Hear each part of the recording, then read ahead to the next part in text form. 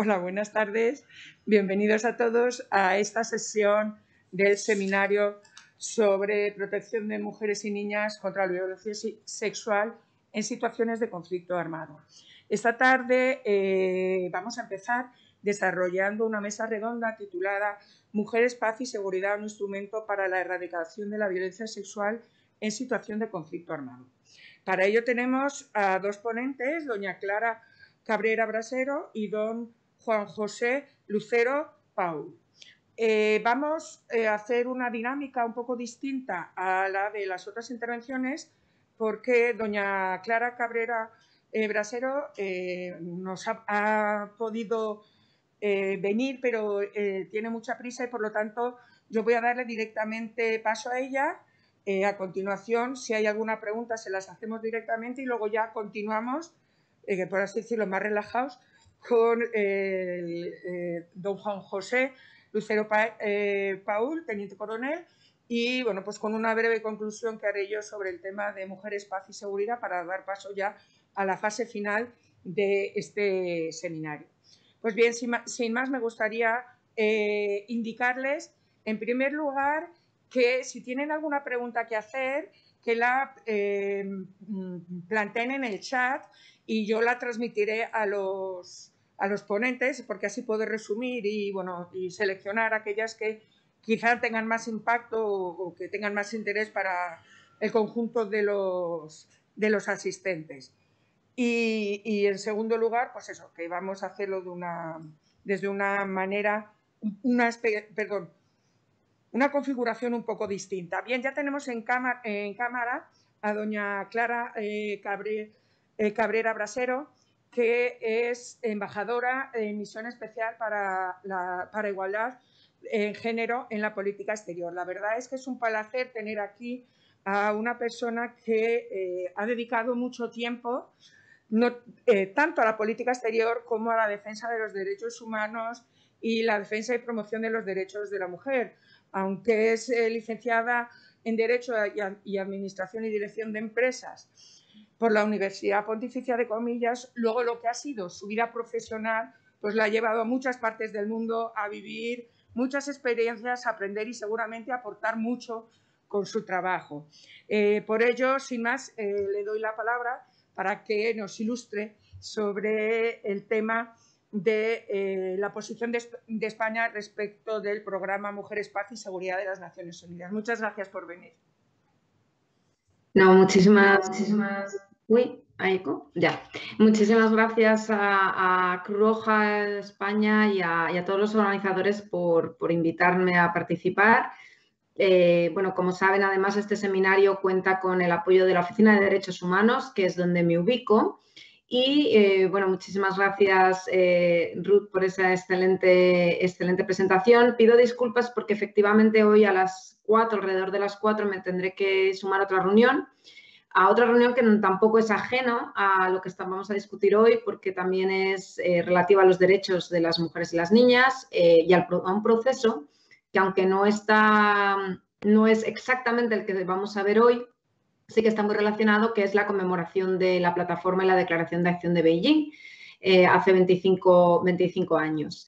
Eh, de todas maneras, también me gustaría eh, bueno, pues tranquilizar respecto a, este formato porque, porque, he tenido el placer de trabajar mucho con el teniente coronel Juan José Lucero, así que aunque no sea una conversación propiamente dicha, verán que hay muchos elementos de conversación en nuestras ponencias porque, bueno, pues como digo, hemos tenido el gran placer de, colaborar. Voy a intentar eh, compartir una presentación, no sé si, si voy a ser del todo capaz. Vamos, ya he sido capaz. Muchísimas gracias por la paciencia. Bueno, pues eh, supongo que muchas de las cuestiones que, os voy a trasladar o que voy a trasladar ya se han visto. Veo que en el dossier, además informativo tan completo que, les han enviado, vienen muchas de estas cuestiones. Eh, pero bueno, sí que me gustaría eh, encuadrarlas todas en, ese, en esa agenda de mujeres, paz y seguridad. Es una agenda que... que Clara, perdona un momento. Sí. En la pantalla abajo pon, eh, que ponga en la pantalla completa la presentación. No, no, no, más a la derecha, a la derecha. Ay, a la izquierda. Ay, uh. ya, está. Muchas gracias. Esto es un trabajo de equipo. Bueno, pues em, no, como decía, bueno, pues es una agenda que desde mi punto de vista es, eh, bueno, es muy innovadora en muchas cuestiones, ¿no? Obviamente, y lo, iré, lo iré explicando, tiene una relación muy grande con la protección de víctimas, de mujeres y niñas víctimas de violencia sexual, pero es que además es una agenda eh, que aspira a ser transformadora en muchos, en muchos elementos y que de hecho lo es en Naciones Unidas. En el dossier y en lo que probablemente ya se haya visto durante esta mañana, eh, se han mencionado muchísimas resoluciones de Naciones Unidas, muchísimos mecanismos de organismos internacionales o de la Corte Penal Internacional, por ejemplo, que hacen frente a estas, a estas cuestiones y que buscan erradicar o prevenir la violencia sexual. La diferencia de esta agenda es que es eh, transversal y transformadora.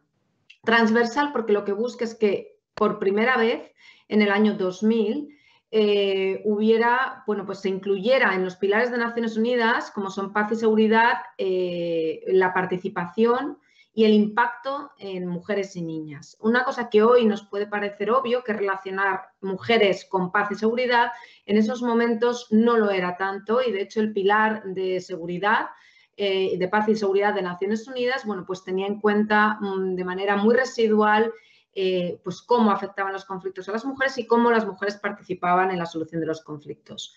Veréis que pongo 20 años de la resolución del Consejo de Naciones Unidas. Es verdad que el vigésimo aniversario se cumplía el año pasado, pero también es cierto que por la COVID-19 y por diferentes circunstancias aparte, bueno, pues ese aniversario yo creo que permanece, por lo menos en cuanto a términos de reflexión, ¿no? De qué hemos alcanzado y qué, cuáles son los retos. Y en violencia sexual todavía, y lo vamos a ver también, hay muchos retos dentro de esta agenda. A mí me gustaría también anclar esta agenda en lo que es la política exterior de España. Hace eh, unos días eh, se presentaba de manera oficial la política exterior feminista.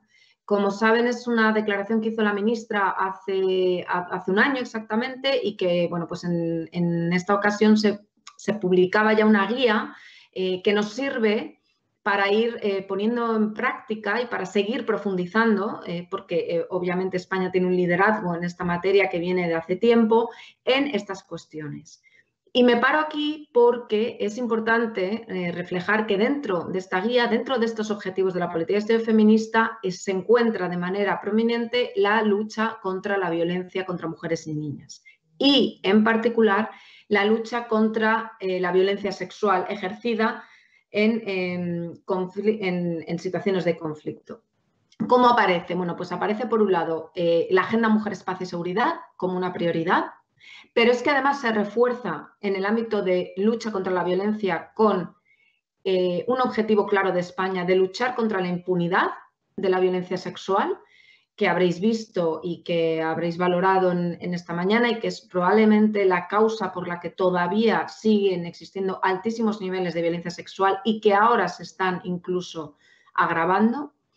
Eh, también como una prioridad de nuestra política exterior de derechos humanos, y en esto venimos trabajando muchísimo tiempo, la no discriminación por razón de género y la lucha contra la violencia eh, contra mujeres y niñas es una gran prioridad para, para España. Además, esta agenda de mujeres, paz y seguridad se completa de una manera, yo creo que muy, muy importante con la Agenda 2030, con la Agenda de Desarrollo Sostenible, que sabéis que además cuenta con un amplio consenso a nivel global y donde se incorpora el ODS 5, lograr, la igualdad de género y empoderar a todas las mujeres y las niñas. Y dentro de ese ODS 5, obviamente, hay una meta eh, para luchar contra la violencia. ¿Por qué? Porque se entiende además, y esto yo creo que es fundamental, que la desigualdad de género es una amenaza para la paz y la seguridad internacionales. Como digo, algo que ahora mismo puede ser obvio en muchos contextos, no lo era tanto hace 20 años y todavía en muchos contextos pues cuesta eh, identificar esa desigualdad de género muchas veces lastrada por la violencia ejercida contra mujeres y niñas como incluso un signo de alerta temprana en aquellas sociedades en las que pueden ser o que pueden ser más proclives eh, al conflicto. Seguramente ya, ya habéis hablado de la resolución 1325, pero eh, bueno, pues si hablamos de la Agenda Mujeres, Paz y Seguridad como un instrumento clave en la lucha contra la violencia sexual, no podemos dejar de mencionarla porque, como digo, es la primera vez eh, que se incorpora el ámbito, eh, la igualdad de género y la participación de las mujeres en el pilar de la paz y la seguridad, como en la prevención en, la resolución y en la aplicación o reconstrucción posterior. Y también es importante decir que esto es la culminación de un proceso de la sociedad civil. Organizaciones de mujeres de todo el mundo eh, se dirigían y se han dirigido durante mucho tiempo a Naciones Unidas precisamente para poner encima de la mesa estas cuestiones. Y una de las cuestiones probablemente, o no probablemente, seguro, que más han, em, digamos, promovido ese papel de las organizaciones de la sociedad civil ha sido precisamente la lucha contra la violencia sexual, contra eh, un crimen que se ha visto eh, común denominador de muchísimos conflictos, como también eh, se refleja en ese dossier eh, del curso, y que lastra cualquier recuperación de los conflictos. Como digo, la resolución 1325 y las sucesivas son muy importantes porque también vinculan los tres pilares, el de prevención, el de protección y de participación.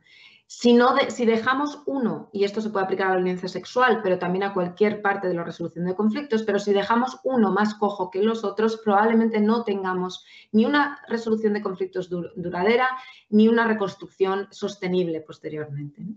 Entonces, yo aquí recojo una de las frases ¿no? que decía ONU Mujeres, obviamente, y que es un poco lo que, lo que, estamos, lo que estamos viendo, ¿no? que, realmente... Em, el empoderamiento de las mujeres, eh, la igualdad, el respeto y la protección de los derechos de las mujeres y las niñas es realmente algo íntimamente relacionado con la paz y la seguridad. Aquí os he recogido las resoluciones, hay más, obviamente, hay, hay más, las tenéis también recogidas en el dossier. Y aquí no voy a ir una por una porque tenéis un muy buen resumen, pero sí eh, querría eh, trasladaros la importancia de estas resoluciones y la dificultad la dificultad de negociar las resoluciones. Eh, la 1325 fue una resolución, como digo, muy, em, bueno, pues muy icónica, como si dijésemos, para, esta, agenda. Lo han sido estas específicas en violencia sexual, que probablemente han sido, ha sido la parte más desarrollada también de la Agenda Mujeres, Paz y Seguridad, ese pilar de protección, esa lucha contra la violencia sexual, pero que sin embargo tampoco ha estado exenta de retrocesos. Lo diré eh, más adelante, pero sí que querría decir que las últimas resoluciones, más bien la última resolución eh, sobre violencia sexual, eh, no ha sido en absoluto pacífica y de hecho ha contado con ciertos elementos que, durante, que para muchos países pues no, no son, digamos, no, no progresan en la agenda y, y que han sido líneas, líneas rojas. ¿Cómo trabaja España en Naciones Unidas la prevención, la lucha contra la violencia sexual en este marco de la Agenda de Mujeres, Paz y Seguridad? Bueno, pues obviamente impulsando y apoyando resoluciones.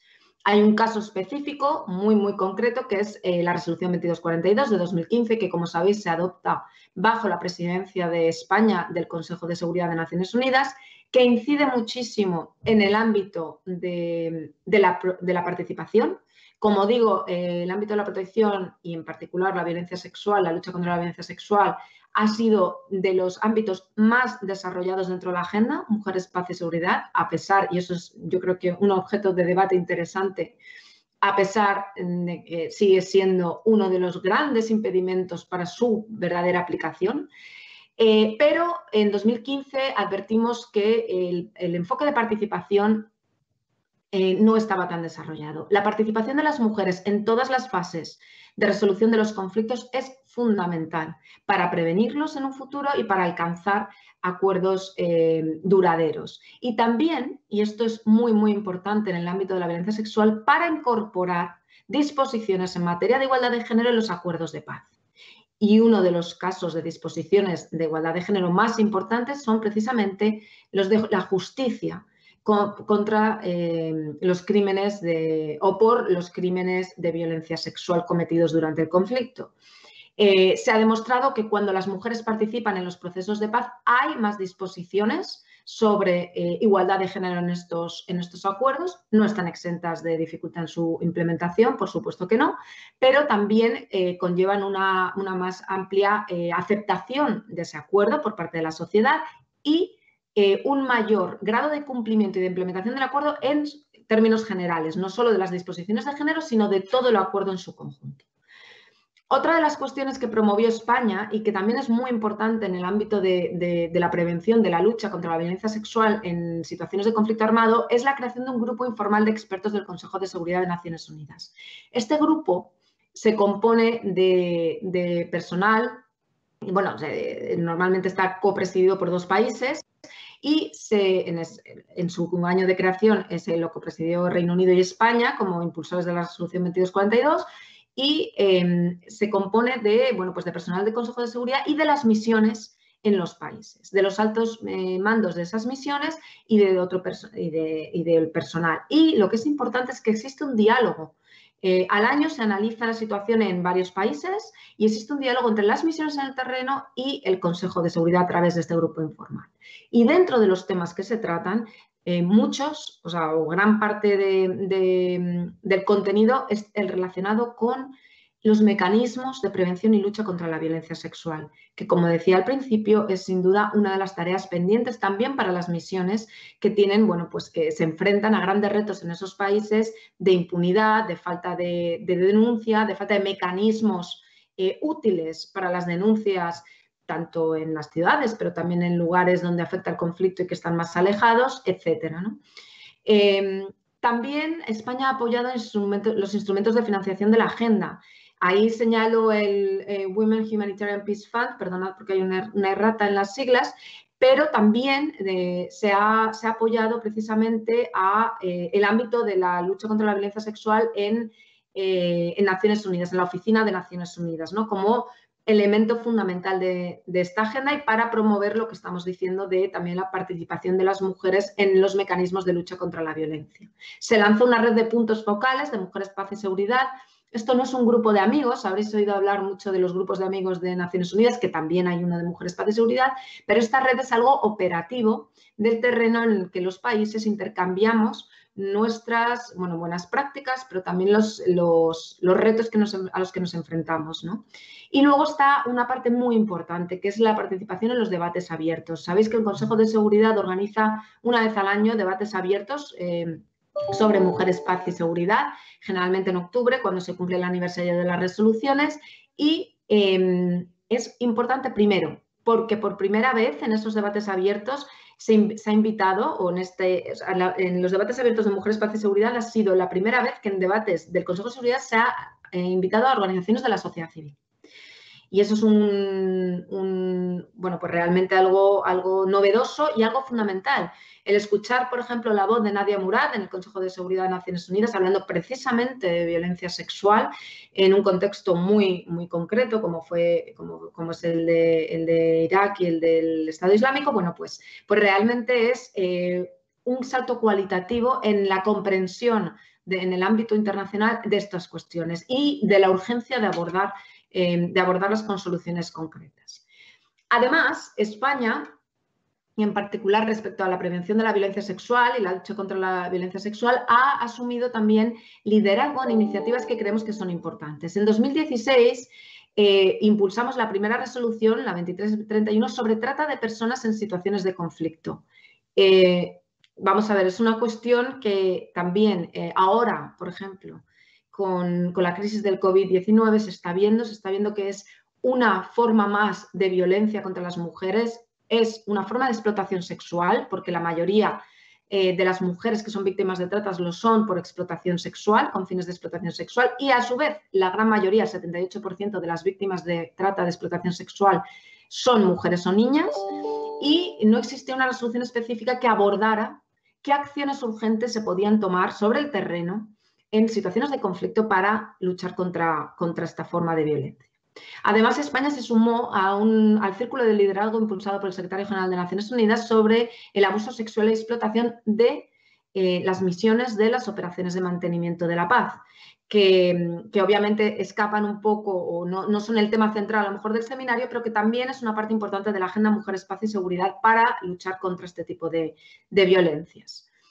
Eh, obviamente España ah, eh, apoya eh, la relatoría y la oficina de, lucha contra la violencia sexual de Naciones Unidas y esta iniciativa que, mencionábamos antes de contra la violencia sexual en conflicto, que es una iniciativa que lógicamente tiene que existir en Naciones Unidas, que hay que redoblar sus acciones y que como decía, pues ha tenido un gran impacto también en los debates del Consejo de Seguridad y en la relación del Consejo de Seguridad con estos, con estos temas.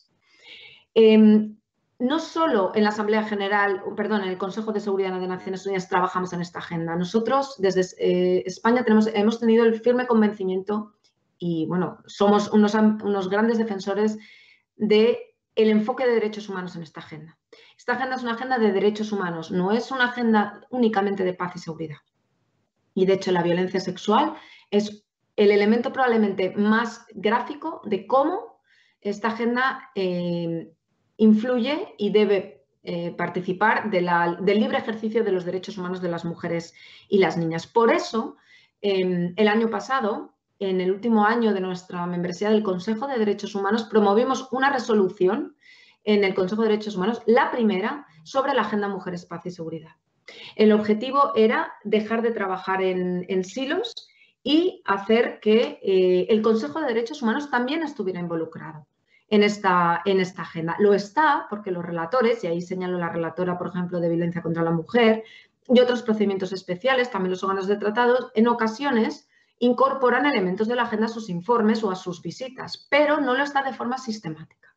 Y también ha sido una de las preocupaciones de la relatora, por ejemplo, de violencia y de otros procedimientos también de no mujeres, que el Consejo de Derechos Humanos debe ejercer eh, esa labor aunque como órgano de Naciones Unidas, aunque la competencia, digamos, primaria o primigenia radique en el Consejo de Seguridad de Naciones Unidas.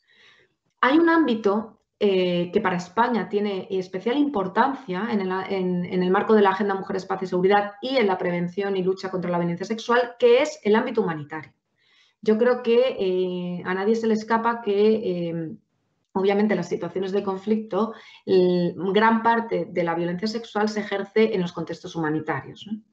entonces, bueno, nosotros hemos, a través de nuestra cooperación española, pero también a través de nuestra diplomacia humanitaria, que se denomina y que, la profesora también, eh, Concha Escobar, conoce bien, eh, se han asumido compromisos específicos eh, para luchar contra la violencia sexual, en, tanto, en, por ejemplo, en las conferencias de lucha contra la violencia sexual, como la de Oslo de 2019, como la llamada a la acción o el call to action, precisamente para prevenir este tipo de violencia en contextos humanitarios. España asumió compromisos específicos de este call to action y ahora está renovando dichos compromisos para asegurar que en todas las acciones en el ámbito humanitario llevadas a cabo por España y en coordinación con Naciones Unidas no eh, existe impunidad y sobre todo se, puede, se prevengan de manera eficaz eh, estas, eh, bueno, pues estos crímenes. la Unión Europea también tiene bastantes elementos en la Agenda Mujeres, Paz y Seguridad que abordan esta cuestión. En el dossier, obviamente, se hablaba, por ejemplo, de una reciente resolución que yo aquí no he incorporado, pero que, que sí que es muy relevante del Parlamento Europeo en noviembre del año pasado sobre em, la participación de mujeres o la igualdad de género en la política exterior de la Unión Europea y que, aborda la agenda Mujeres, Paz y Seguridad como prioritaria. Y aquí hay una cosa que también me gustaría subrayar. El plan de acción de género, ahora mismo es el tercer plan de acción de género, digamos que es el plan que eh, rige todas las actuaciones de política exterior de la Unión Europea en materia de igualdad de género. Eh, el plan se adoptó también en 2020 a, finales y rige hasta, hasta 2024 y eh, tiene como novedad que incorpora la Agenda Mujeres, Paz y Seguridad como un elemento crucial del plan de acción de género. Los anteriores estaban mucho más enfocados a la parte de cooperación al desarrollo y esto nos sirve primero para volver a incorporar la Agenda de Mujeres, Paz y Seguridad en el centro, pero también para reforzar las acciones de la Unión Europea en la lucha contra, contra la violencia sexual como elemento fundamental de la misma. Esto viene además dado por la reciente, bueno, no tan reciente, pero sí que reciente respecto al resto de países, y luego veremos en los planes de acción nacional, eh, adopción del Plan de Acción de la Unión Europea en 2019, cuando ya muchos de los países tenían planes nacionales, inclusive algunos por la tercera generación o como España por la segunda. Y finalmente, bueno, existe la Estrategia de Igualdad de Género de la Unión Europea en la que no voy a entrar porque es más de ámbito interno, pero que también hace menciones a, la, lógicamente, a la, violencia. Em, esto se lo voy a dejar al, compañero, al teniente coronel Juan José Lucero, porque bueno, pues es un orgullo, yo creo que para España y para el Ministerio de Defensa también, eh, ser los líderes de esta formación en materia de género, que le explicará muchísimo mejor. Y gracias precisamente al liderazgo ejercido por España, ahora mismo estamos trabajando también como líderes del grupo de igualdad de género de participación de mujeres en las misiones civiles. Digo esto porque eh, tanto el enfoque de género en las misiones civiles como la participación de mujeres es fundamental en la prevención de la lucha de la violencia sexual. Las misiones civiles, como sabéis, pues tienen un, digamos, un, ámbito en la resolución de conflictos un poquito bueno, diferente de las misiones militares, complementarios, complementario y tienen una parte muy importante de difusión y de sensibilización para la lucha contra la impunidad, para, las, para la denuncia, en fin, para la visibilización de la violencia sexual en las situaciones de, conflicto. Existen además otras organizaciones en las que trabajamos eh, muy intensamente esta agenda. Y, de nuevo, pues bueno, la OTAN obviamente se la voy a dejar también a mi, a mi compañero del Ministerio de Defensa y la OSCE, en la que también existen eh, importantes eh, elementos, importantes planes para la lucha contra la violencia sexual en las misiones en los países y en, todas las misiones de, de la OSCE. Hablábamos de los planes nacionales. España, y también lo tenéis en el dossier, aprobaba en 2017 su segundo plan de acción nacional. El primero data de 2007 y obviamente después de, como digo, de todas las adopciones de nuevas resoluciones, pero también de la evolución de la agenda, se hacía necesario actualizarlo. En 2017, tras un proceso de consulta con ministerios implicados, que fueron prácticamente todos, eh, y muy coliderado entre el Ministerio de Asuntos Exteriores de la Unión, Europea de Cooperación con el Ministerio de Defensa, pero con la participación de otros muchos ministerios, se eh, adaptó y se actualizó este plan. Em, entre otras cuestiones, como decíamos, para integrar la, perspectiva de género en todas las fases de la resolución de conflictos y de la consolidación de la paz, en la prevención, en la gestión y en la resolución haciendo mucho hincapié en la participación significativa de las mujeres, que es lo que mencionaba antes, sin dejar de lado, obviamente, eh, la lucha contra la violencia y en particular la violencia sexual, eh, mediante la protección y el respeto a los derechos humanos de las mujeres y las niñas, haciendo más hincapié en medidas concretas de lucha contra la violencia sexual, en esos compromisos de lucha de violencia contra la violencia sexual en el ámbito humanitario, pero también eh, en, el enfoque de derechos humanos, ¿no? en, enfoque, en, esa lucha contra la violencia con ese enfoque de, derechos humanos y se incorporaba además, y esto es muy importante, como hablaba antes eh, cuando mencionaba las disposiciones de igualdad de género en los acuerdos de paz, la, la reparación y la recuperación de las víctimas de los conflictos, ¿no? que es un, tema que seguramente también abordéis y que está muy presente en la agenda de mujeres, paz y seguridad. Eh, el plan se está implementando. Ahora mismo tenemos pendiente la presentación del informe de seguimiento, que es verdad que con, eh, bueno, pues por varias circunstancias, en su momento por la disolución de cortes, convocatoria de elecciones y luego el COVID, bueno, pues está prácticamente finalizado. También es cierto que con, todos los recientes eh, compromisos, renovación de compromisos y también las circunstancias, las nuevas crisis, ese informe pues va a plantear una revisión del plan y luego esto también es muy importante porque hablaba al principio de la política exterior feminista, hablamos ahora del Plan Nacional de Acción y hablamos de las acciones de España en materia de lucha contra la violencia sexual. Debe existir una coherencia entre los instrumentos internos y nuestra política exterior. Por eso este Plan Nacional tiene una vertiente interna de acciones a nivel nacional en nuestras políticas públicas nacionales, en los instrumentos de planificación y de ejecución, pero también en nuestra política exterior. Y eso es fundamental para tener eh, políticas públicas, una política exterior que sea efectiva y que sea transformadora y que realmente aborde los objetivos, como es el caso de la lucha contra la violencia, la violencia sexual, de una manera global y de una manera, eh, pues como decíamos, coherente. Em, bueno, yo eh, esta, exposición la estoy haciendo un poco corta porque sí que me gustaría tener un diálogo con, con vosotros o si hubiera preguntas. Pero esta parte yo creo que es muy importante.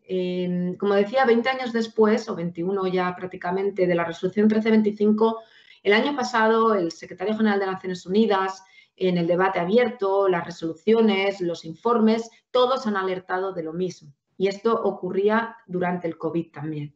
La diferencia y la distancia entre los compromisos y la realidad en el terreno. En materia de violencia sexual, como digo, los compromisos son muchos, Yo creo, o es mi opinión, que en el ámbito de la eh, Agenda Mujeres, Paz y Seguridad sí que se ha avanzado. Supongo que esto es uno de los temas que, habréis tratado y que habrá diferentes opiniones, pero lo que es cierto es que la lucha contra la violencia sexual es uno de los elementos de igualdad de género que también se está viendo amenazado por posibles retrocesos. Eh, el primer paso o el primer reto que yo apunto aquí es seguir trabajando para mantener la agenda Mujeres, Paz y Seguridad en el centro de los debates multilaterales y en la toma de decisiones de los organismos internacionales.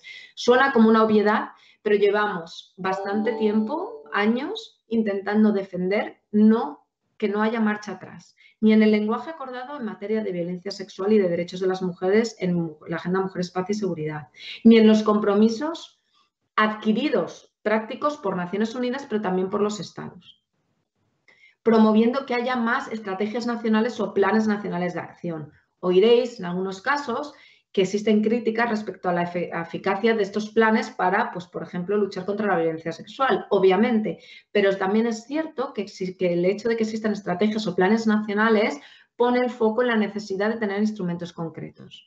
Y en el marco, por ejemplo, de COVID-19, aunque luego lo mencionaré, se ha demostrado que aquellos países que contaban con instrumentos y con planes han sido capaces de reaccionar de forma más ágil para mantener, por ejemplo, los servicios esenciales de protección a víctimas de violencia sexual.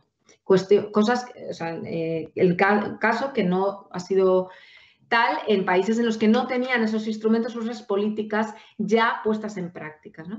Otra parte muy importante que también eh, se plantea como un reto en la Agenda de Mujeres, Paz y Seguridad, pero en general y muy en particular también, en general en, toda, en todas los, digamos, las agendas eh, multilaterales, pero en particular la Agenda de Igualdad de Género y de lucha contra la violencia contra mujeres y niñas, es la participación de la sociedad civil. Em, en la Agenda de Mujeres, Paz y Seguridad, como decía, siempre ha sido un elemento clave sido un elemento clave porque fueron las organizaciones de mujeres las que promovieron la agenda, pero también las que en gran parte se encargan de implementarla. Y si hablamos de violencia sexual, a nadie se le escapa que las organizaciones de mujeres en el terreno, eh, tanto de asesoría em, jurídica o, profesional, digamos, para, canalizar las posibles demandas o denuncias, eh, como las mujeres, las organizaciones de mujeres de apoyo a las víctimas, como aquellas que trabajan en la sensibilización y visibilización, sin el enfoque de revictimización. Todas estas organizaciones tienen que estar presentes en la toma de decisiones y en la, definición de los instrumentos eh, a nivel internacional y multilateral, pero también a nivel nacional y regional y nacional. Y al final el establecimiento de los cauces de verdadera participación es un reto para todos los países, es un reto para Naciones Unidas y hoy en día con la COVID-19 pues se ha visto que por un lado sí que ha habido una, bueno, pues una conexión o un apoyo, un compromiso del sistema multilateral para apoyar a esas organizaciones de mujeres en los países para que pudieran seguir participando de manera efectiva, pero por otro lado también se ha visto que, obviamente pues, eh, ha habido pues, muchas organizaciones de mujeres que se han quedado atrás eh, en esta labor y que, bueno, pues que ahora están teniendo muchísimas más dificultades para plantear eh, las reivindicaciones y para seguir eh, trabajando en, la lucha contra la violencia sexual en particular. Es muy importante dar seguimiento a nuestras acciones. Hablaba del informe de seguimiento del Plan Nacional, pero, pero bueno, tenemos que obviamente dar muchísimo seguimiento a cómo nuestras políticas, eh, nuestros discursos, nuestros proyectos, nuestros programas realmente contribuyen a, la lucha contra la violencia sexual. Em, como decía al principio, por eso hemos querido volcar eh, y hacer ese vínculo tan importante de la política feminista con la agenda de mujeres, paz y seguridad. Por eso hemos querido incluir una mención específica a la lucha contra la impunidad en el ámbito de la violencia sexual. Ya habréis tratado y viene también recogido en el dossier, bueno, pues el papel ¿no? de la CPI, de la Corte Penal Internacional, en, esto eh, de los casos, eh, bueno, pues o de las sentencias que ha habido en el ámbito de la Corte Penal Internacional que sirven de referencia y que realmente pues dan un marco de lucha contra la impunidad fundamental, que no están exenta de retos y España va a seguir contribuyendo tanto al papel de la CPI en, este ámbito, como al papel de otras organizaciones regionales eh, y de otras cortes, como la Corte Interamericana de Derechos Humanos, que también tiene un gran papel en, esto y que de hecho también ah, influye, y yo creo que esto es muy importante, el ámbito regional, cómo influye en los países. Eh, una de las sentencias que también probablemente se hayan mencionado a lo largo de la mañana es la sentencia en Guatemala contra crímenes de violencia sexual y que, eh, bueno, pues en parte viene también muy ligada al trabajo que la, CIDH, la Corte Interamericana de Derechos Humanos, pues ha, estado haciendo, así como otros mecanismos, ¿no? Eh, también nacionales en Guatemala, pero, pero bueno, que todo, o sea, todo este entramado institucional, jurídico de eh, lucha contra la violencia sexual es fundamental para luchar contra la impunidad. En la guía de política exterior feminista y muy en relación con el plan de Mujeres, Paz y Seguridad, eh, también eh, se incluye una mención a las sanciones. Eh, cuando estas sean necesarias o cuando estas sean relevantes para luchar contra la violencia sexual. Supongo que también estaréis al corriente de que recientemente, el año pasado, se, adoptó en la Unión Europea el primer mecanismo de sanciones por violaciones de derechos humanos, que ya se ha adoptado contra varios países y que contempla, obviamente, como bueno, no, existe un catálogo em, exhaustivo de violaciones de derechos humanos, pero eh, sí que, eh, bueno, pues eh, dentro de estas se incluye obviamente los crímenes de violencia sexual, con lo cual España en ese sentido pues también va a apoyar este, apoya este mecanismo y apoyará obviamente que la, que la lucha contra la violencia sexual esté presente aquí. Otro de los retos es actualizar los compromisos, como decía, con estos obstáculos y las barreras que existen. ¿Por qué es un reto? Porque durante los últimos años y la última resolución sobre violencia sexual presentada en el Consejo de Seguridad de Naciones Unidas es una buena muestra de ello, gran parte de nuestros esfuerzos se han dedicado a resistir, como suelo decir yo, o a mantener lo que ya se había eh, acordado a nivel global, la Agenda Mujeres, Paz y Seguridad, también la, Beijing, más 25, que es ah, más amplio, que, habla obviamente de la violencia, pero de los derechos de las mujeres y, de las niñas. Y el avanzar en los compromisos ha requerido un esfuerzo doble. Eh, ahora mismo con COVID-19, y lo hablábamos eh, al principio, si hay algo que se ha puesto de manifiesto es el impacto desproporcionado que, de nuevo, una crisis, esta vez no un conflicto armado, tiene sobre las mujeres y las niñas. Uno de los primeros, eh, de las primeras reacciones del secretario general de Naciones Unidas, uno de los primeros llamamientos a la acción después del alto el fuego global fue eh, paz en los hogares. Fue la lucha contra la violencia contra mujeres y niñas, en este caso más orientada a la violencia dentro del confinamiento de los hogares, pero obviamente también haciendo eh, alusiones a la violencia sexual. Em, hubo unos primeros datos que se han ido luego consolidando, que es que a nivel global, en aquellos países donde existen registros de violencia, esta durante el confinamiento se incrementó en un 30%. Y la violencia sexual en ámbitos humanitarios también se eh, incrementó. En parte, obviamente, por la situación de confinamiento, también en situaciones eh, humanitarias, pero también por el, el desvío, bueno, la dedicación de los recursos a la crisis sanitaria, que dejó en parte los recursos contra la violencia, como digo, contra mujeres y niñas, eh, pues eh, mermados. Y de nuevo vuelvo a insistir en que lo que también se ha, se, ha, demostrado es que aquellos países o aquellas organizaciones en el ámbito humanitario que activaron rápidamente la, la declaración de servicios de protección de violencia como servicios esenciales, bueno, pues consiguieron que, ese incremento de violencia no fuese eh, tan, tan alto. Pero, desde luego, ha puesto de relieve la necesidad de contar con mecanismos eficaces eh, dentro de esta agenda de mujeres, paz y seguridad para eh, prevenir la violencia sexual, pero también para que no exista impunidad y para ser capaces de poner en práctica estos eh, mecanismos. Si a ello le sumamos un retroceso o un intento de retroceso en los derechos de mujeres y niños, esto obviamente significa una mayor vulnerabilidad frente a violencias, frente a la violencia sexual, eh, un abuso de derechos, una falta de acceso a los servicios básicos que ponen em, o que, alertan de, de una mayor posibilidad de ejercicio de la violencia contra mujeres y niñas y de la violencia sexual en, los conflictos.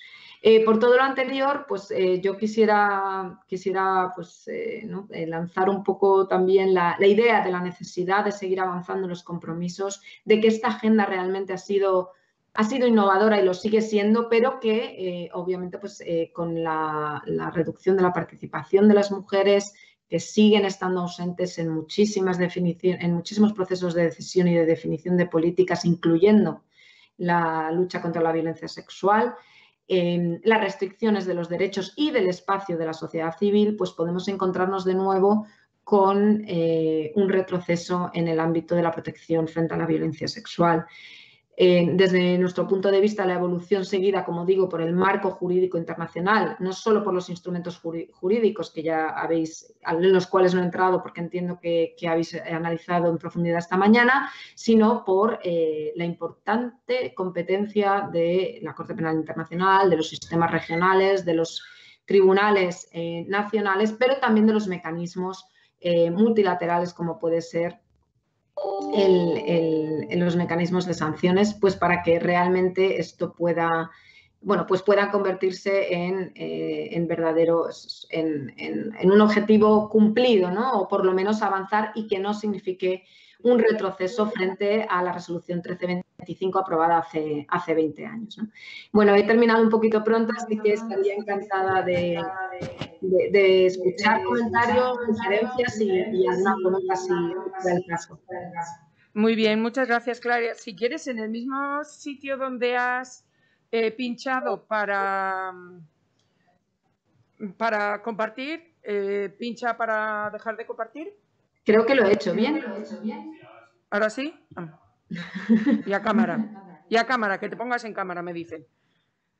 Que enciendas la cámara. Voy, voy. Voy, voy. A ver, a ver. No. Ahora, ahora sí. Hola, eh, eh, pues la verdad es que muchísimas gracias por una tan, tan interesante eh, repaso, no solo de las acciones, sino, por así decirlo, del interés, ¿no? Que eh, a lo largo de los últimos 20 años el, gobierno español, el Estado español ha mostrado por estos temas, porque la verdad es que si nos vamos fijando en las distintas acciones que se han ido realizando en los distintos gobiernos, siempre este tema ha sido una cuestión, eh, por así decirlo, prioritaria. Entonces, eh, yo tengo tres preguntas que a lo mejor te las hago las tres de golpe que se han ido formulando y esperamos a que vengan más y si no, bueno, pues eh, con estas ya te puedes enrollar lo que, eh, lo que quieras. Por un lado, eh, me preguntan si respecto al informe de seguimiento del segundo plan de Mujeres, Paz y Seguridad, em, ¿es público este, estos informes de seguimiento son públicos? ¿Y cómo se elabora? Eh, y luego qué em, organismo, por así decirlo, lo examina o valora eh, lo, que se ha determinado en ese, en ese informe. Y en segundo lugar, cuáles, las, eh, cuáles son las principales revisiones que se van a plantear.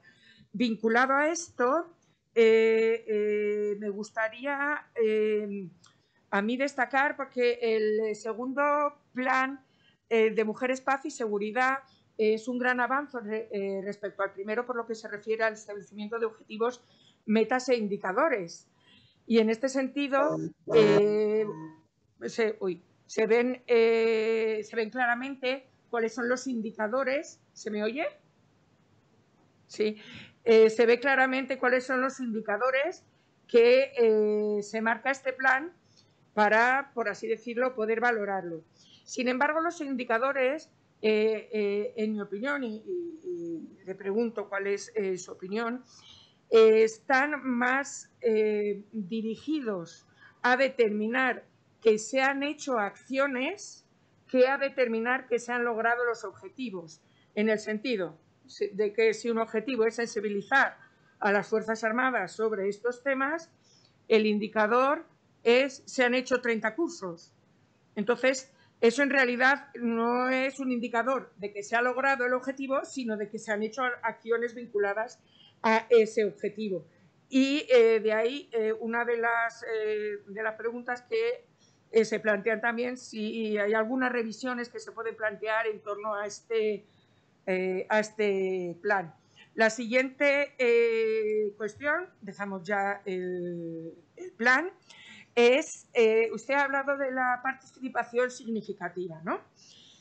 Y la verdad es que en los últimos informes de la CEDAW, los últimos informes que ha presentado España y las observaciones que le ha hecho se ha destacado la escasa presencia de mujeres en eh, altos eh, cargos, sobre todo del Ministerio de Asuntos Exteriores, en organizaciones internacionales, etcétera. Yo no sé si hay una política especial para, primero, inducir a las mujeres para que quieran estos puestos y, segundo, pues para garantizar que los criterios y la forma de hacer esta selección garantiza que realmente eh, no hay un, sesgo que impida a las mujeres participar en, ello.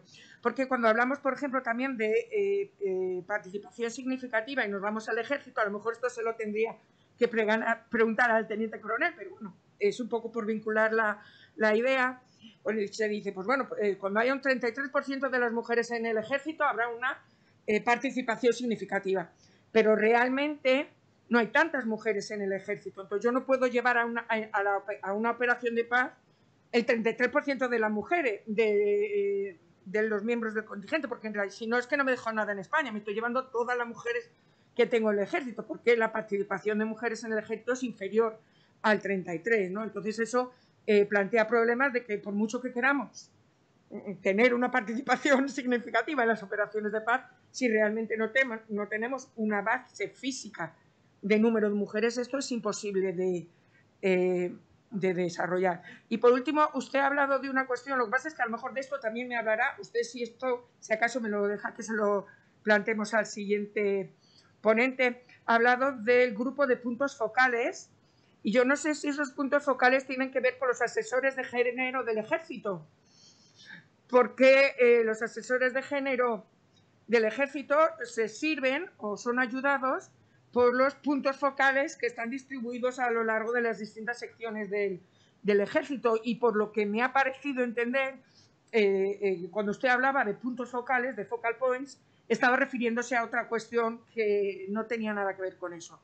Bien, mm, yo creo que con estas tres preguntas puede desarrollar todo lo que quiera e ilustrarnos con toda su sabiduría, experiencia y conocimientos. Muchas gracias.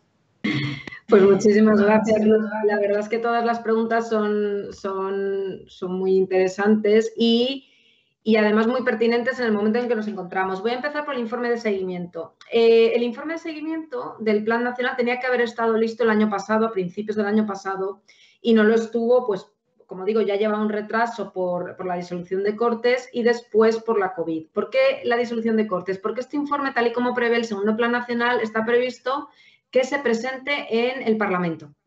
¿Eh? Entonces, esa es una de las formas de, digamos, de tener un contrapeso, de tener un diálogo para eh, que ese informe pues, tenga también eh, cierta discusión ¿no? y, que, y, que, tenga aportaciones por parte de, de, las cámaras. ¿no? Eso por un lado.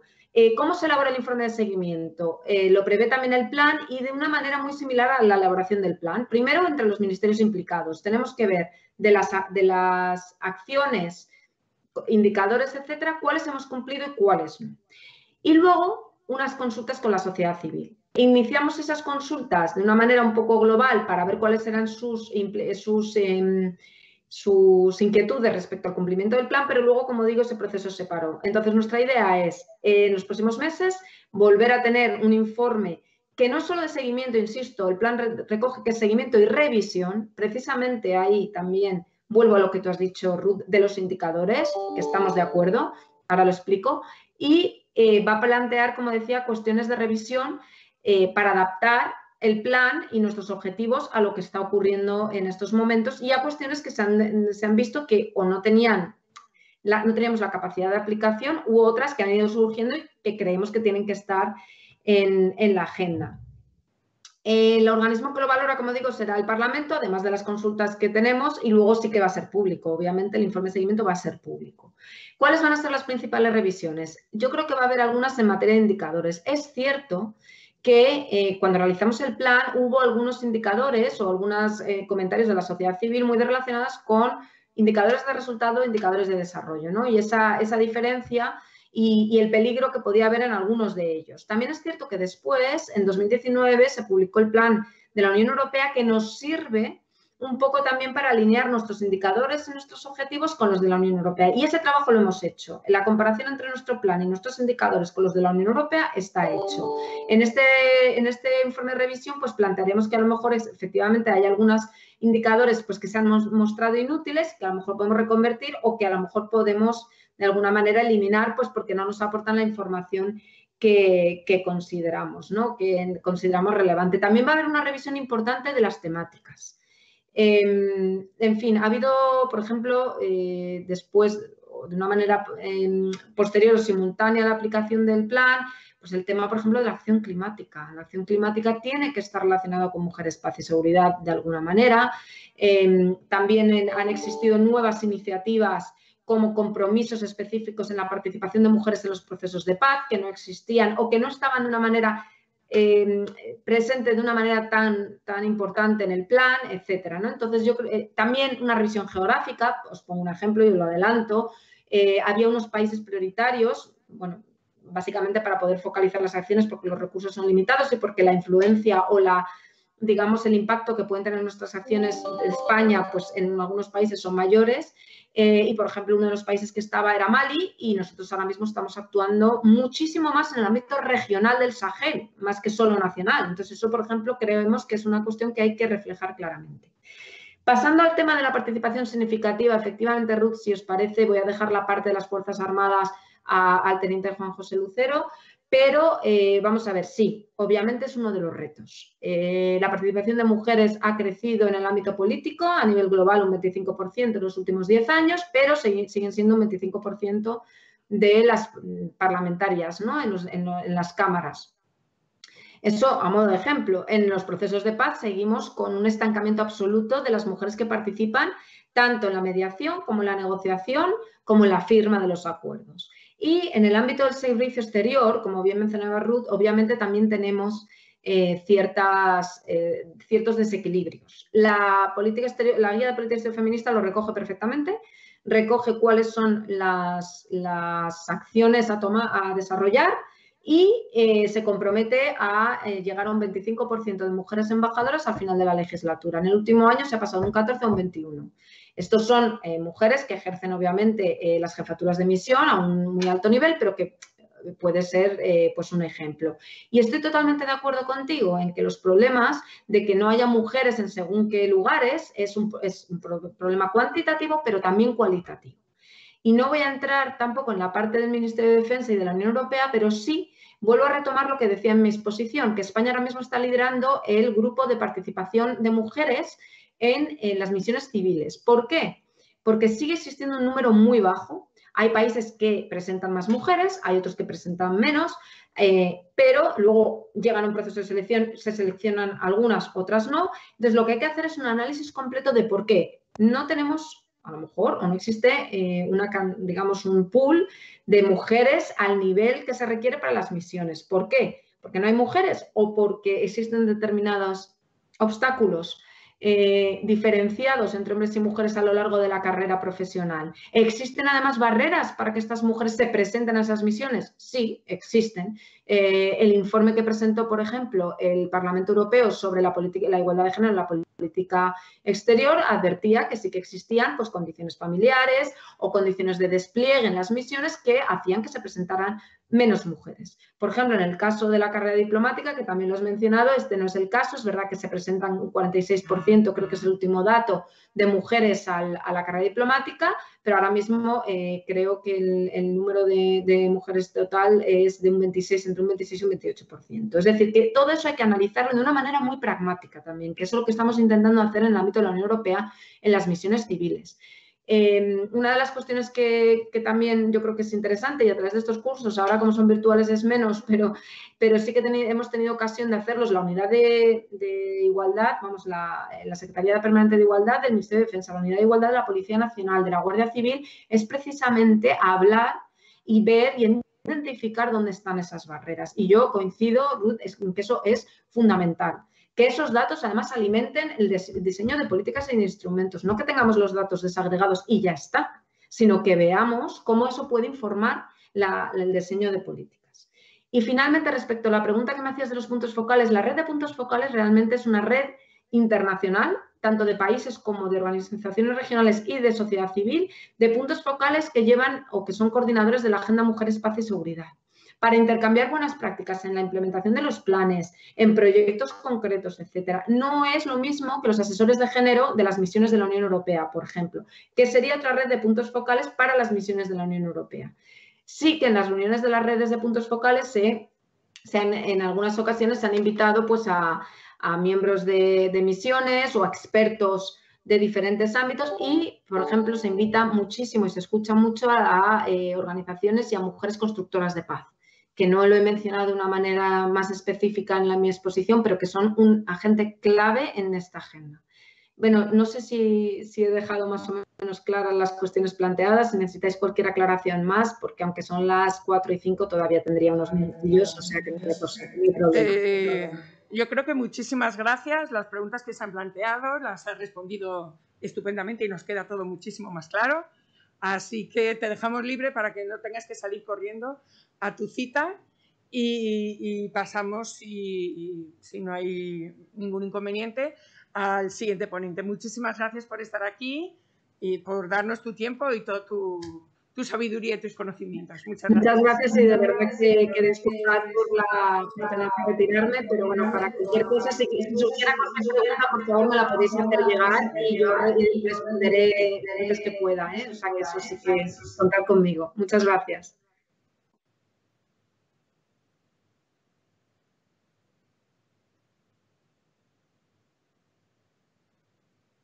Pues ahora, eh, sin más parón, vamos a presentar al eh, eh, teniente coronel don Juan José Lucero Paul, que bueno, pues es uno de los grandes expertos en el tema de mujeres, paz y seguridad.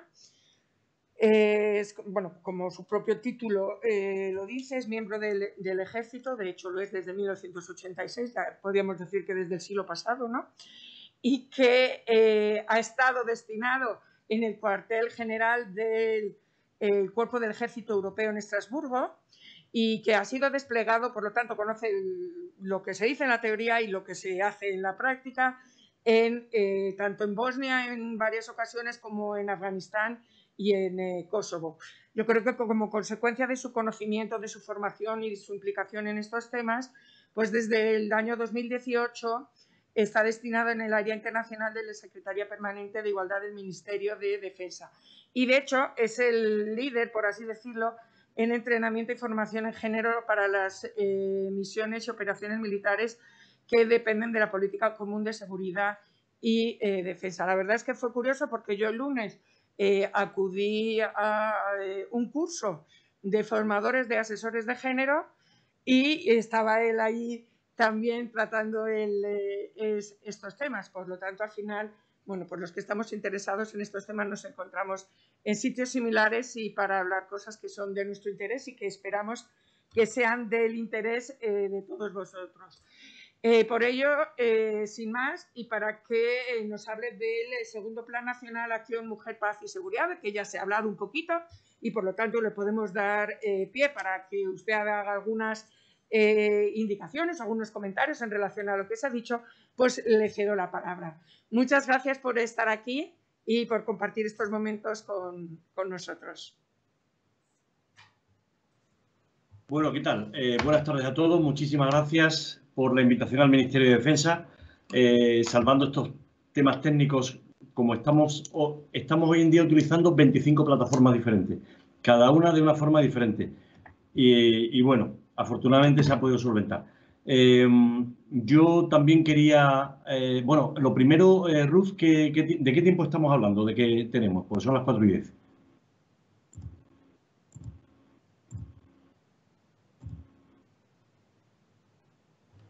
Veinte minutos. ¿Veinte minutos? ¿Veinte minutos? Perfecto, perfecto. Perfecto, perfecto.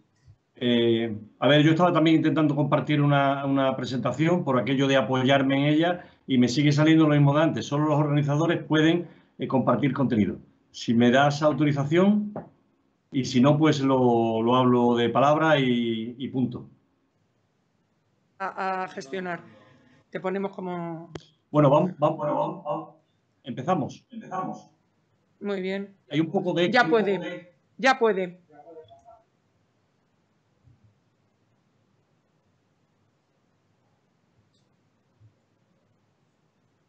Bueno, yo creo que... Perfecto. ¿Se escucha bien? Vale, perfecto.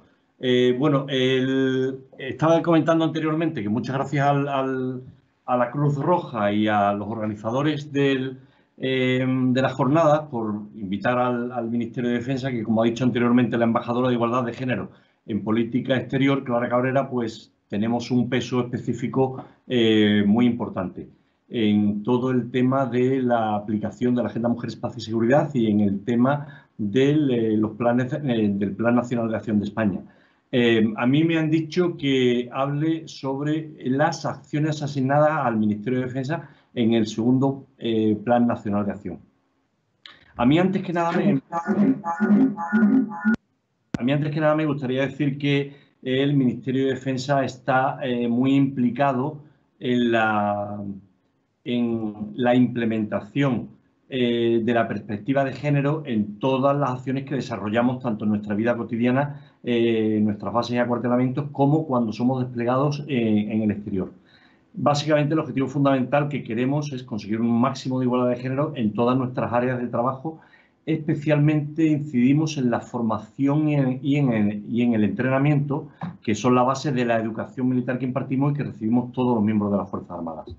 Eh, también me gustaría destacar eh, mm, un par de acciones a nivel eh, internacional que son muy importantes y que está implementando el, Ministerio de Defensa. la primera es una iniciativa de formación de asesores de género, un enfoque integral sobre el género en las operaciones. Esta iniciativa, que empezó hace más de 10 años, es una iniciativa conjunta con el Ministerio de Exteriores y con el gobierno de los Países Bajos. De tal forma que estamos en esta iniciativa bilateral, cuatro ministerios, defensa y exteriores de los Países Bajos y defensa y exteriores de España. Precisamente mi interlocutora en el, en el Ministerio de Exteriores en, este, en esta iniciativa es precisamente la embajadora Clara Cabrera. Con mm, con posterioridad desarrollar un poco más esta, idea de fuerza y la segunda idea que eh, la ha dicho con anterioridad también, la ha citado la, eh, la, embajadora Clara Cabrera, es que el Ministerio de Defensa español eh, es líder en el entrenamiento militar para las misiones y operaciones derivadas de la política común de seguridad y defensa. Y si tengo tiempo lo desarrollaré también un poquito más adelante.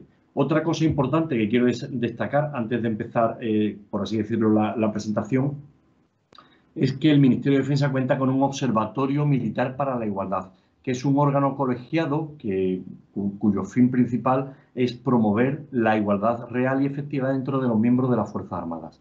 Nos reunimos periódicamente, somos ahí, concretamente este año soy yo y el año pasado soy yo vocal de ese observatorio, y somos 17 eh, eh, miembros de las Fuerzas Armadas, tanto oficiales, suboficiales y tropas, como eh, mm, eh, representante de todos los ejércitos y, del órgano central. Ejército del Aire, Ejército de Tierra, eh, Armada y órgano central. Este observatorio militar está presidido por la subsecretaria de Defensa y concretamente el último pleno versó precisamente sobre mujeres, paz y seguridad.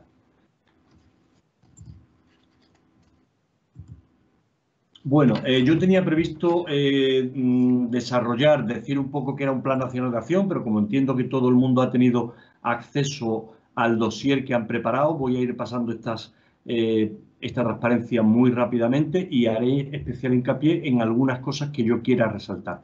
Por ejemplo, dentro de un compromiso de un plan nacional de acción, en su implementación tiene dos ejes. El primer eje es interno o el primer pilar es interno y es alcanzar la igualdad de género en todas las instituciones del sector de seguridad. En el caso nuestro de, España, en el, por supuesto, en las Fuerzas Armadas y en las Fuerzas y Cuerpos de Seguridad del Estado.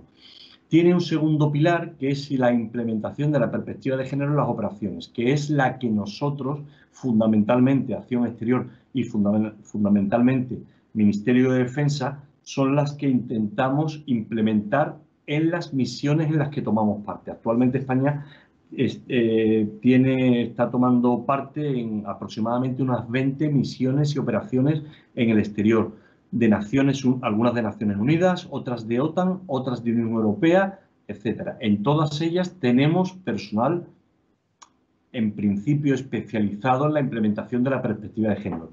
evidentemente no tiene el mismo poder una misión que puede ser la implementación, la policía báltica, por ejemplo, la policía en el Báltico, policía aérea en el Báltico, que son eh, una serie de aviones y están normalmente, no tienen contacto con la población civil, que una eh, misión, por ejemplo, de Naciones Unidas eh, en Líbano, donde actualmente desplegada unos 700, 800 efectivos españoles y ahí evidentemente sí que hay un componente importante de especialistas en género, asesores de género o puntos focales de género.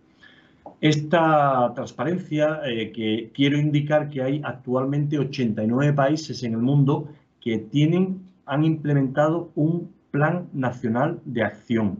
Esta fecha es a finales, eh, o sea, este número de, países estamos hablando de finales del año pasado. Algunos de estos países pues ya van, como ha dicho anteriormente la embajadora Cabrera, por el tercer eh, plan de acción, por el cuarto plan, por la cuarta iteración, o España que va por el segundo, o por ejemplo eh, Malta o Sudán que eh, eh, tuvieron el año pasado su primer plan nacional de acción.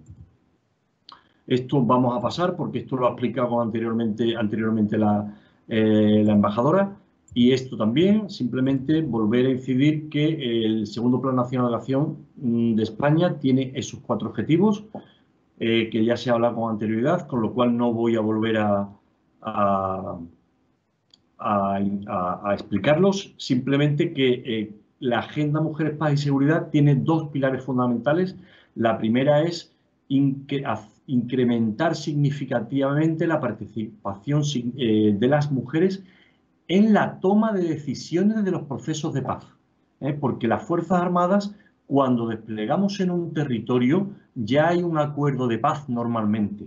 ¿De acuerdo? Antes de ese proceso de paz, ahí entra la diplomacia a trabajar.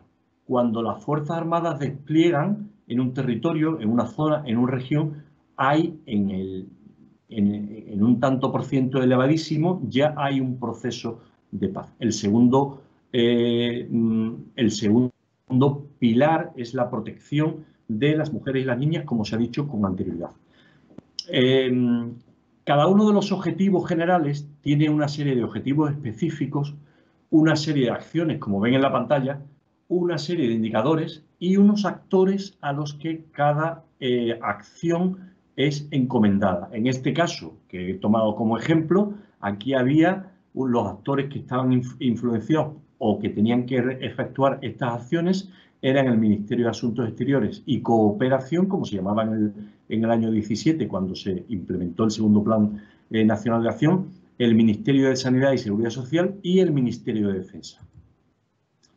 Bueno, a, partir de ahora, como no hay demasiado tiempo, pues voy a ir eh, eh, desgranando un poco, pero simplemente los datos, los hechos más importantes que el Ministerio de Defensa tiene asignado en el segundo Plan Nacional de Acción.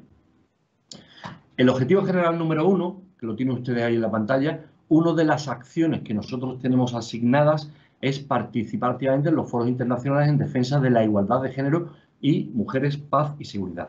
Bueno, aquí podría decir que participamos en todos los foros internacionales de Naciones Unidas, de OTAN, de Unión Europea, de OSCE y, por ejemplo, eh, un caso muy, eh, un caso muy, un exponente claro es el, Comité de Perspectiva de Género de la OTAN, que es un, órgano colegiado también. Actualmente de su, hay cinco, cinco miembros eh, que no están dedicados permanentemente a esta, a esta función. Eh, hay un, un presidente, hay una presidente eh, electa, que será la siguiente, y después hay tres vicepresidentes. De esas cinco personas, uno es un oficial español. Participamos también, por ejemplo, en todas las reuniones de asesores de género de las misiones civiles y militares de la Unión Europea o, por ejemplo, en reuniones conjuntas de la Unión Europea con Naciones Unidas, con OTAN, etc. Ahí estamos representados absolutamente en todos los foros.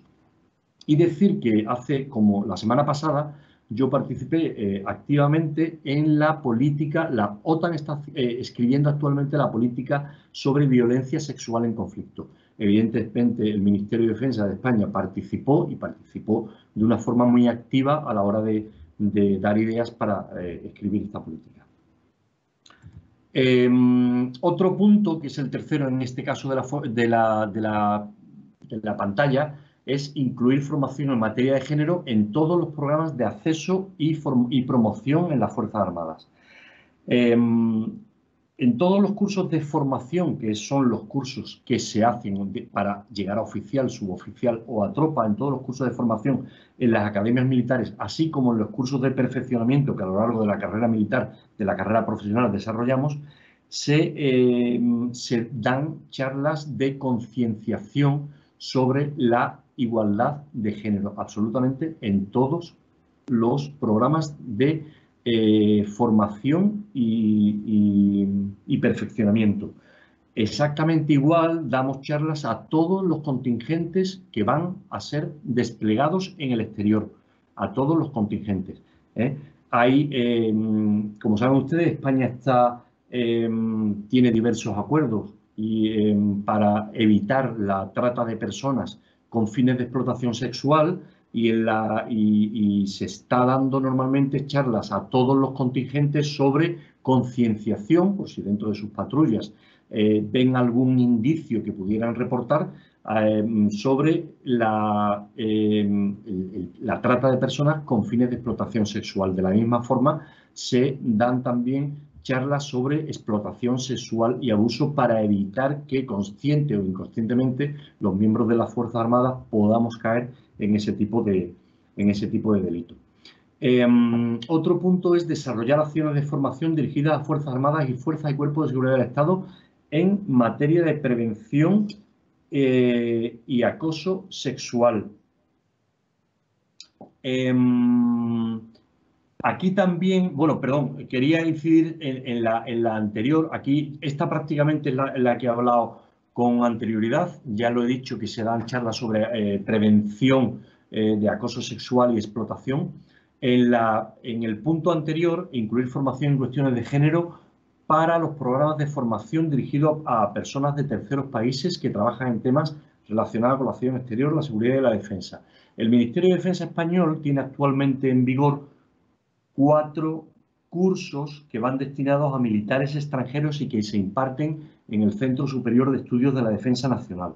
En todos esos cursos también se dan charlas sobre igualdad de género, sobre conciliación y sobre implementación de la perspectiva de género en las operaciones. Concretamente, estos cuatro cursos son eh, el curso de altos estudios de defensa para oficiales superiores de Afganistán, otro curso es el curso de altos estudios estratégicos para oficiales superiores iberoamericanos. Aquí se reúnen aproximadamente del orden de 30 eh, personas, en este caso de diferentes países de Centroamérica y Sudamérica, eh, del orden de, rango general, coronel, y a todos ellos también se le da este tipo de charlas. Hay otro curso que es el de altos estudios de defensa para oficiales superiores de países de Asia y del Pacífico, exactamente igual. Son aproximadamente unos 25 eh, personas las que participan en esos cursos. Y por último, el curso de altos estudios de defensa para oficiales generales y coroneles de Oriente Medio y Norte de África, exactamente igual que lo que he explicado con anterioridad. El objetivo general número dos, que era eh, hacer realidad la participación de la participación significativa de las mujeres, en los procesos de toma de decisiones, ¿eh? una de las acciones que tenemos nosotros es aumentar las em, aumentar la presencia de, mujeres que forman parte del Servicio de Acción eh, Exterior Español y de las Fuerzas Armadas. Eh, nosotros tenemos en las Fuerzas Armadas, damos unos planes de difusión entre todas las unidades de la que forma parte también la Secretaría Permanente de Igualdad y las unidades de protección frente al acoso. igualmente hemos dicho que se dan charlas de concienciación para alcanzar la igualdad de género a todos los miembros que se, que se despliegan en el exterior. Con relación al fomento de, para incrementar la presencia de mujeres en las Fuerzas Armadas y con especial atención en las misiones de Naciones Unidas, podríamos decir que las medidas de conciliación en los últimos años se han aumentado tanto para el personal que despliega operaciones en el exterior como para sus familiares para que ello no sea un grave impedimento y que de esta forma una mujer que quiera desplegar en el exterior no tenga, en principio, no tenga problemas porque deja aquí marido o deja, unas, o deja hijos. Cuando tenemos, por ejemplo, eh, un matrimonio entre militares, si uno de los dos despliega, el otro puede elegir quedarse aquí, que es lo que normalmente hace para tener cuidado pues, de, la, Em, de la casa, de los, de los, eh, de los hijos. ¿eh? De esta forma podemos eh, fomentar el despliegue de mujeres y se minimizan los efectos que estos despliegues tienen en las familias.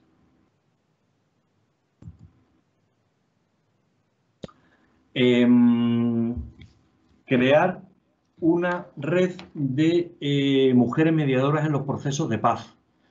En todos los cursos que organiza el Ministerio de Defensa en cuestión de, eh, tanto internacionales como nacionales, en cuestión de igualdad de género, existe proporcionalmente un número de participantes mayores de mujeres que de hombres, teniendo en cuenta que actualmente el número de mujeres en las Fuerzas Armadas es un 12,8%, sin embargo en estos cursos se intenta que haya un 50% de participación tanto femenina como masculina. De esta forma, a la hora de tener que elegir un asesor de género o un punto eh, focal de género, siempre habrá más mujeres formadas eh, que hombres. Con relación al objetivo eh, número 3, que es apoyar las iniciativas orientadas a la protección de mujeres y las niñas y a la asistencia de la violencia sexual y de género en contextos de conflicto, podríamos decir que nuestro personal, cuando despliega en esas zonas de despliegue, dan conferencias tanto internamente como externamente, em, incluyendo eh, la implementación de la perspectiva de género y la igualdad de género. Otro eh, dato importante es que hay dentro de las patrullas que se hacen, hay algunas patrullas de las que se, eh, de las que se realizan exclusivamente con personal femenino al objeto de poder interactuar más fácilmente con el personal local femenino de la zona de despliegue. Em, está clarísimo que en, toda, en la mayoría de las zonas de, donde despliegan las Fuerzas Armadas españolas y las Fuerzas Armadas de OTAN y Fuerzas Armadas de, países de Estados miembros de la Unión Europea, el, para un hombre interactuar con una mujer, hablar con una mujer por temas culturales y por temas de educación es mucho más complicado que hacerlo eh, para una mujer, por ejemplo. Entonces siempre eh, se intentan hacer patrullas mixtas o se intenta que los equipos eh, de asesoría de género siempre haya personal masculino y siempre haya personal femenino. Eh, bueno, voy a ir un poco rápido porque entiendo que los 20 minutos están prácticamente terminados. Entonces, otro de los objetivos que tenemos es aplicar de una forma estricta la política de tolerancia cero. España, las Fuerzas Armadas de España llevan más de 30 años desplegadas en el exterior, concretamente desde el año 88. No ha habido nunca ningún caso de acusación de abuso sexual o mucho menos evidentemente explotación eh, sexual. Em, también en el objetivo general número 4, em, em, una de las acciones que tenemos que hacer es promover las reformas de las Fuerzas Armadas y las fuerzas y cuerpos de seguridad de, los estados donde estamos desplegados. Nosotros realizamos dos tipos de misiones. Una es apoyamos en la reforma del sector de la seguridad de determinados países, es el Security Sector Reform, que, ven ustedes en el primer párrafo, y en las, eh, por ejemplo, eh, esta, esta, es una misión típica que está realizando eh, Naciones Unidas. nosotros, Fuerzas Armadas Españolas, actualmente están dentro de, eh, dentro de la Unión Europea estamos desplegados en Mali, en Somalia, y en la República Centroafricana en, misiones de formación y, entrenamiento. Esta es la típica misión de reforma del sector de la seguridad. Sin embargo, la misión de desarme, desmovilización y reintegración es más típica de Naciones Unidas. Y nosotros también estamos participando en misiones de Naciones Unidas, por ejemplo, Colombia. En la misión de Colombia podemos decir que se alcanzó el mayor número de eh, mujeres eh, dentro del contingente. Es cierto que era un contingente muy pequeño, pero también es cierto que se alcanzó, que se ha llegado a alcanzar el 25% del total eran mujeres. Ya para terminar, voy a hablar de esas dos acciones que, eh, de formación y liderazgo que tiene el Ministerio de Defensa en el exterior, ¿eh? y uno de ellos es la iniciativa bilateral hispano-neerlandesa con los Países Bajos, Em, donde realizamos un curso que se llama, como ven ustedes, un, enfoque integral de del género en las operaciones. Actual, eh, se hacen cuatro cursos al año, eh, dos aquí en Europa, uno en Madrid, uno en La Haya y otros dos en Nairobi. Eh, en total hemos hecho actualmente, hasta la fecha, se han hecho más de 30 ediciones y se han formado prácticamente casi, casi 1.500 miembros de Fuerzas Armadas, Fuerzas Policiales, personal diplomático y personal civil en la asesoría de género. En total podemos decir que más de 75 países eh, han, tomado parte en estos, miembros de 75 países han tomado parte en estos cursos. Eh, también tenemos un curso nacional eh, que se está desarrollando actualmente y, es al que se refería anteriormente la, la moderadora Ruth, eh, actualmente se está realizando la novena edición y hasta la fecha se han formado a más de 200 personas, oficiales y suboficiales, fundamentalmente de las Fuerzas Armadas, pero también de las Fuerzas y Cuerpos de Seguridad del Estado y personal civil. Este año, por primera vez, hay 35 miembros de la Universidad de Granada y 5 miembros de las Fuerzas Armadas de Portugal. Eh, con relación al liderazgo en la formación de género para misiones derivadas de la política común de seguridad y defensa, el Ministerio de Defensa de España fue elegido hace, hace unos años para liderar esta disciplina y podríamos decir, bueno, puedo decir en primera persona porque eh, soy yo el que ha hecho este o, el que ha liderado este trabajo, tenemos que realizar un, eh, análisis, un, un análisis de requisitos de formación un Training Requirement Analysis en inglés, y, esto evidentemente se ha hecho en función de todos los indicadores, todas las fuentes que ustedes ven aquí. Por ejemplo, eh, se hicieron 130 eh, cuestionarios individuales de todo el personal que estaba desplegado en fuerzas, eh, en, misiones de la Unión Europea. Se hicieron cuestionarios colectivos a los Estados miembros, a las instituciones de formación y a los asesores de género de todas las misiones.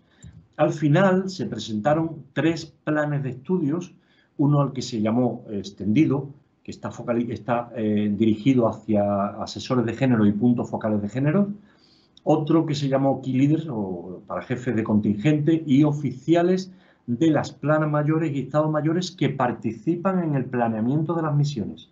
¿eh? Aquí se les explica cómo se planea una misión militar desde el principio desde eh, sus orígenes, teniendo en cuenta que desde el principio hay que aplicar una perspectiva de género. Un tercer plan de estudio fue el que se llamó básico. Estos planes de estudio fueron aprobados por los Estados miembros de la Unión Europea en, enero del, año pasado y fue, em, y fue también aprobado por el Comité Militar de la Unión Europea. Hay que decir que estos, em, estos tres cursos, dado que el primero, el primer curso, el que va dirigido a asesores de género, lo hacemos, España lo hace, el Ministerio de Defensa de, España lo hace tanto nacionalmente como internacionalmente, como ha quedado eh, explicado con anterioridad. Em, hemos, nosotros en el Ministerio de Defensa, hemos desarrollado los otros dos planes de estudios y para eso se han, bueno, todos estos son los diferentes eh, mm, eh, temas que trata cada uno de los, de los, eh, de los planes de estudio. Por ejemplo, el de para jefes de unidad, pues hablamos de, la, de conceptos de género, Em, hablamos de la protección de civiles y niños en los conflictos armados, hablamos de la prevención de la violencia sexual en conflicto y de la violencia eh, debido al género, hablamos de la explotación sexual, por ejemplo, y de la integración de la perspectiva de género en las operaciones. Se, eh, han realizado eh, presentaciones de todos estos temas y se han distribuido entre todos los Estados miembros de las Fuerzas Armadas de la Unión Europea pero a su vez también esto ha llegado a todos los, organismos del Servicio de Acción Exterior de la Unión Europea, teniendo en cuenta que las misiones civiles y militares el género se aplica de una forma transversal. Entonces prácticamente es muy, muy parecido. Y siempre me gusta acabar las presentaciones, aunque esta ha sido, ha eh, sido muy rápida, siempre me gusta eh, diciendo esta frase, que no es cuestión de enseñar, sino es cuestión de cuando vamos desplegados intentar cambiar mentalidades. Y con esto, pues, em, he terminado, he intentado ir lo más rápido posible y, y si hay alguna pregunta, pues estoy a su disposición.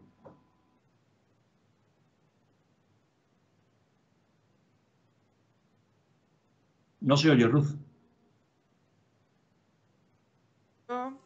como saben mis alumnos que están ahí, tengo serios problemas con los micrófonos, nunca sé cuándo apagarlos cuándo encenderlos. Entonces, bueno, me disculpo por ello. Muchísimas gracias eh, por las palabras que nos ha dirigido, por explicarnos de una manera, yo creo que tan breve, también estructurada y tan clara, eh, un poco como desde el Ministerio de Defensa hacen frente a todo lo que es el programa eh, Mujeres, Paz y, Seguridad desde, desde, el momento en que hay un plan concreto que aúna los esfuerzos de todos los, eh, eh, de todos los ministerios y todas las administraciones públicas en España. la verdad es que la resolución 1325, como se ha dicho antes, lleva ya 20 años de, de vida, pero bueno, es verdad también que en los 20 años de vida eh, de la resolución 1325 mucho hemos avanzado. Yo recuerdo que el primer curso que se hizo sobre eh, mujeres, paz y seguridad o mujeres en conflictos armados, eh, hecho por el Ministerio de Defensa y español, el Ministerio de Exteriores, junto con el holandés, que se hizo aquí en el CSD, yo asistí y yo no sé muy bien por qué me admitieron, porque bueno, pues yo era una civil y yo creo que sería la única civil. El año pasado asistí al curso de asesores de género de, la OTAN, allí en, en Estocolmo, y la verdad es que los avances que se han dado desde un primer momento en que intentábamos acercarnos con lo que sabíamos hasta lo que ha pasado 20 años después eh, bueno, yo creo que hace 20 años no lo hice, pero bueno, unos años después. Y sobre todo lo que nos ha dado la experiencia, la práctica de Afganistán, la práctica de, eh, lo que ha pasado en Kosovo, la práctica de lo que ha pasado en muchos países en los que a través de la OTAN o a través de la Unión Europea se han intentado eh, aportar una perspectiva de género, pues nos permite ser hoy mucho más fuertes en este campo que lo que éramos pues, hace unos años.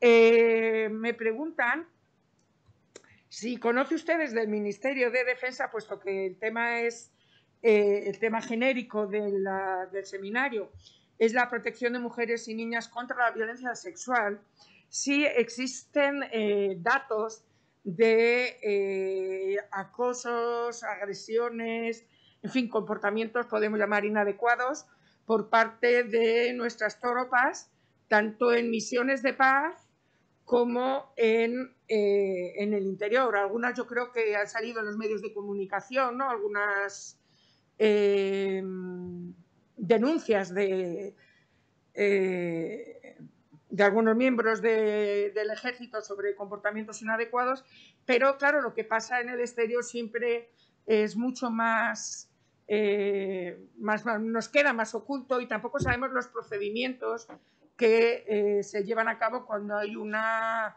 una queja o una denuncia de una mujer por haber sufrido algún comportamiento de, eh, de, este tipo, o si el asunto queda en muy bien, tomamos nota al respecto y cogemos a la persona que ha cometido el, el delito, la agresión o el comportamiento indebido, lo mandamos a España para que no se vuelva a hablar del tema y para un poco acallar, o hay consecuencias más graves y cuáles son estas, estas consecuencias. Bueno, vamos a empezar por, las, eh, por el exterior cuando estamos desplegados en el exterior. Eh, como se ha dicho durante mi presentación, como he dicho durante mi presentación, eh, las Fuerzas Armadas aplican, al igual que OTAN, al igual que Unión Europea, al igual que Naciones Unidas, aplican el principio de tolerancia cero. Eso significa que cualquier persona que tenga una em, que haya cometido algún delito de eh, acoso, explotación o abuso sexual, tanto internamente como exteriormente, como a sobrepoblación local, inmediatamente es repatriado y es juzgado por el delito del que se le haya acusado. Evidentemente se abre un procedimiento de investigación. ¿eh? Eh, como he dicho anteriormente, en los 33 años que las Fuerzas Armadas españolas han desplegado en el exterior, no ha habido ningún caso de denuncia que haya sido juzgado y que haya sido condenado. No ha habido ningún caso en el exterior.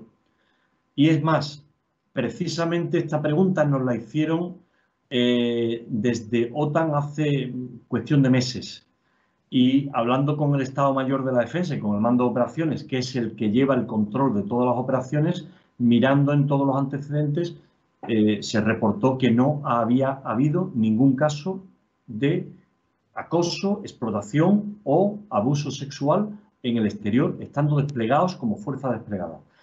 Eh, vamos a darnos cuenta que cada año España despliega entre 8 y 10 mil personas en, misiones en el exterior, entre 8 y 10 mil personas de las cuales la media es un 8% son mujeres.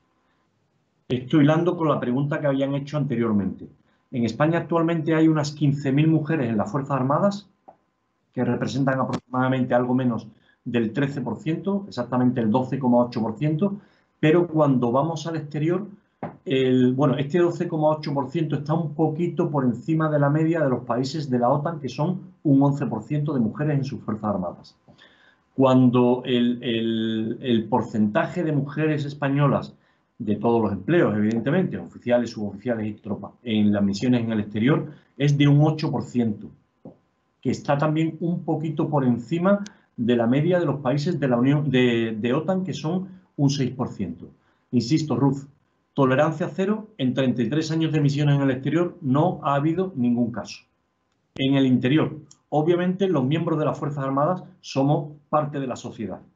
¿eh? Y aunque nosotros, evidentemente, desde, mm, desde, nuestros, eh, desde nuestro ingreso en las academias militares nos intentan inculcar que debemos ser un ejemplo para el resto de la población, evidentemente hay eh, personas que por los motivos que sea, pues tienen un comportamiento inadecuado con sus parejas o con otro tipo de personas. Por supuesto, ahí hay unos números, yo no los sé de, memoria, pero eso es, eh, eso creo que la, una, estadística creo que eh, era el 0,01% de los miembros de las Fuerzas Armadas. O sea, prácticamente eh, yo me atrevería a decir que es, que es tremendamente poco significativo. Pero obviamente todos los miembros de las Fuerzas Armadas somos parte de la sociedad española si en la sociedad española hay eh, em, maltratos, abusos, etcétera, nosotros como miembros de las Fuerzas Armadas y parte de la sociedad española también somos responsables de eso. De acuerdo, muchas gracias. La verdad es que yo hace eh, unos años eh, vino un responsable del Comité Internacional de la Cruz Roja al cuartel general de la OTAN en Vétera y nada más bajar las escaleras del avión, lo primero que hizo fue eh, a aquellas autoridades a las eh, que, fueron a recibirle destacar el eh, comportamiento ejemplar de los, del ejército español en las distintas operaciones en las que había participado. Quiero decir, eh, yo creo que tolerancia cero, eso significa pues, tolerancia cero, existencia de eh, mecanismos y procedimientos de denuncia, de reparación, etcétera.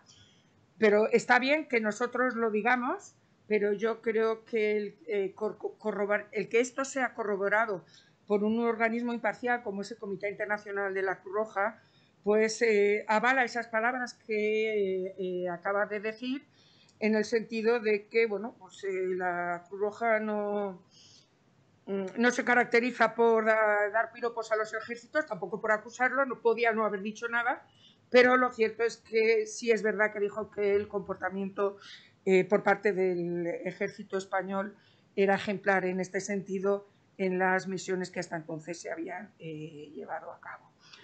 Bien, pues eh, yo no sé si hay alguna otra pregunta. Pues muchísimas gracias por participar. Eh, yo ahora voy a hacer una especie de clausura, por lo tanto, si se quiere quedar usted y luego hacerme la revancha de las preguntas, pues lo asumo como buena jugadora y si no, bueno, pues nos vemos en, otra ocasión. Muchas gracias, muchas gracias por, su, por estar aquí, por su aclaradora. Eh, aclaradora eh, participación y por ser tan amable de responder a las preguntas. Muchas gracias. Por mi aclaración rápida sobre. Muchísimas gracias. Que tenga un buen fin de. Nada. De seminario, sí. Muchas gracias. Bien, eh, yo para continuar, y puesto que vamos un poquito mal de tiempo, ¿no? Mm, quería hacerlo más largo, pero voy a intentar hacerlo también como el teniente coronel que eh, ha, resumido todo lo que ha podido su presentación, además lo ha hecho muy bien. Yo lo que eh, quería hacer es una especie de reflexión desde la perspectiva de ciencias políticas, por así decirlo, y de, vinculado con el derecho, para ver cómo el desarrollo de eh, la agenda o el programa Mujeres, Paz y Seguridad no es fruto eh, de una moda, no es fruto de una sección de la comunidad internacional, eh, no es fruto de que de repente llega un Estado y lidera y todos los demás están fuera, sino que es fruto de una evolución de la misma comunidad internacional que además se va retroalimentando de la evolución que, hacen, eh, que se hace en este campo. Es decir, la comunidad internacional evoluciona y eso hace introducir el tema de mujeres, paz y seguridad, pero la introducción del tema de mujeres, paz y seguridad eh, da lugar a que nos enfoquemos también en nuevos temas que hacen asimismo evolucionar eh, el concepto de paz y seguridad. Eh, mm, lo primero que me gustaría destacar es que realmente eh, ya hemos dicho lo de que la mujer es cuestión de sexo. Cuando hablo de sexo estamos hablando de biología y cuando hablo de género estamos hablando de roles, estereotipos eh, sociales. Estoy hablando de esto porque voy a, por, así decirlo, explicar un, poquito qué es mujer, qué es paz y qué es seguridad a efectos de hoy en día, a efectos de lo que se considera en la comunidad internacional. Por lo tanto, cuando hablamos de mujeres, hablamos de cuestiones de sexo, cuestiones biológicas, pero también hablamos de género de roles que se le eh, dan a estas mujeres por el sexo que biológicamente tienen, ¿vale? Segundo lugar, nos planteamos qué es la paz, ¿no? Uno puede pensar la paz en la ausencia de conflictos, pero yo creo que esto ya se ha pasado eh, mucho y esto está eh, ya pertenece a un momento de las relaciones internacionales y un momento en el que la comunidad internacional se, mm, se, conformaba con coexistir. Ahora estamos en una situación eh, más avanzada en la que no intentamos coexistir, sino que estamos intentar, eh, intentando estar en una situación de armonía donde eh, la reconciliación, la resolución, la reconstrucción de las sociedades que han sufrido cualquier tipo de violencia o que han sufrido cualquier tipo de situación que les impide estar en armonía en el interior, pues nos, eh, nos permite hablar de una paz positiva. La paz que buscamos hoy no es la ausencia de conflictos, es una paz positiva. Y cuando hablamos de seguridad, yo eh, me gusta eh, decirle a mis alumnos, eh, cojo la Carta de las Naciones Unidas y digo, bueno, aquí nosotros los pueblos de las Naciones Unidas, y les leo el preámbulo y se ve claramente que cuando hablan de paz y seguridad internacionales se estaban refiriendo en ese momento a la ausencia de conflictos entre dos estados. Cuando hablamos hoy de seguridad, en realidad estamos hablando de una cosa muy distinta. Si yo les pregunto a ustedes, mm, ¿por qué han sentido miedo? ¿Por qué se han sentido inseguros este año? Nadie me va a hablar de la amenaza de una intervención extranjera. Me hablarán de la amenaza del COVID, me, hablarán de la amenaza del hambre, me hablarán de la amenaza del medio ambiente, me hablarán de la amenaza, eh, a lo mejor física, por la existencia de mafias o de grupos violentos. Es decir, el concepto de, eh, seguridad, seguridad humana que se llama eh, ahora, va más allá de un concepto estatal, por así decirlo, frío, que, está sobre el mapa, ¿no? Haya una ausencia de seguridad cuando en esta zona pasan X cosas, no. Ahora, cuando hablamos de, seguridad, estamos hablando de seguridad económica, alimentaria, de salud, personal, etc. Desde esta perspectiva de un concepto de mujer, paz y seguridad, que es el que yo, eh, con el que yo parto y a que creo que hemos llegado, lo cierto es que las primeras Em, ideas que eh, nos vinculan Mujer, Paz y Seguridad es, están en la conferencia de Beijing en la plataforma de acción. De hecho, la plataforma de acción tiene seis esferas, por así decirlo, seis campos de acción y hay uno específico que se llama, y fijaos qué interesante, contribución a la cultura de paz, protección y asistencia y capacitación a las mujeres refugiadas y eh, desplazadas. En definitiva, estaba hablando de mujeres, paz y seguridad, pero fijaros que nos habla, primero, capacitación, formación, segundo, protección y tercero, participación. Tres elementos clave que nos van a permitir de manera real, si se desarrollan, pues eh, participar en eh, la, construcción de la paz y la seguridad eh, internacionales. A partir de este objetivo 6, bueno, hay una serie de subobjetivos que tampoco voy a eh, comentar por cuestión del tiempo. El siguiente documento que nos interesa, porque la conferencia de Beijing es de 1995, ya no ha habido ninguna gran conferencia sobre las mujeres, antes sí que hubo eh, la de Copenhague y la de México, pero eh, después hay una especie de revisión cada X años. El siguiente gran documento es, como se ha dicho, la resolución 1325 del año 2000, que coincide con eh, eh, lo que se llama eh, el dedicar la ONU el año 2000 a las mujeres, ¿no?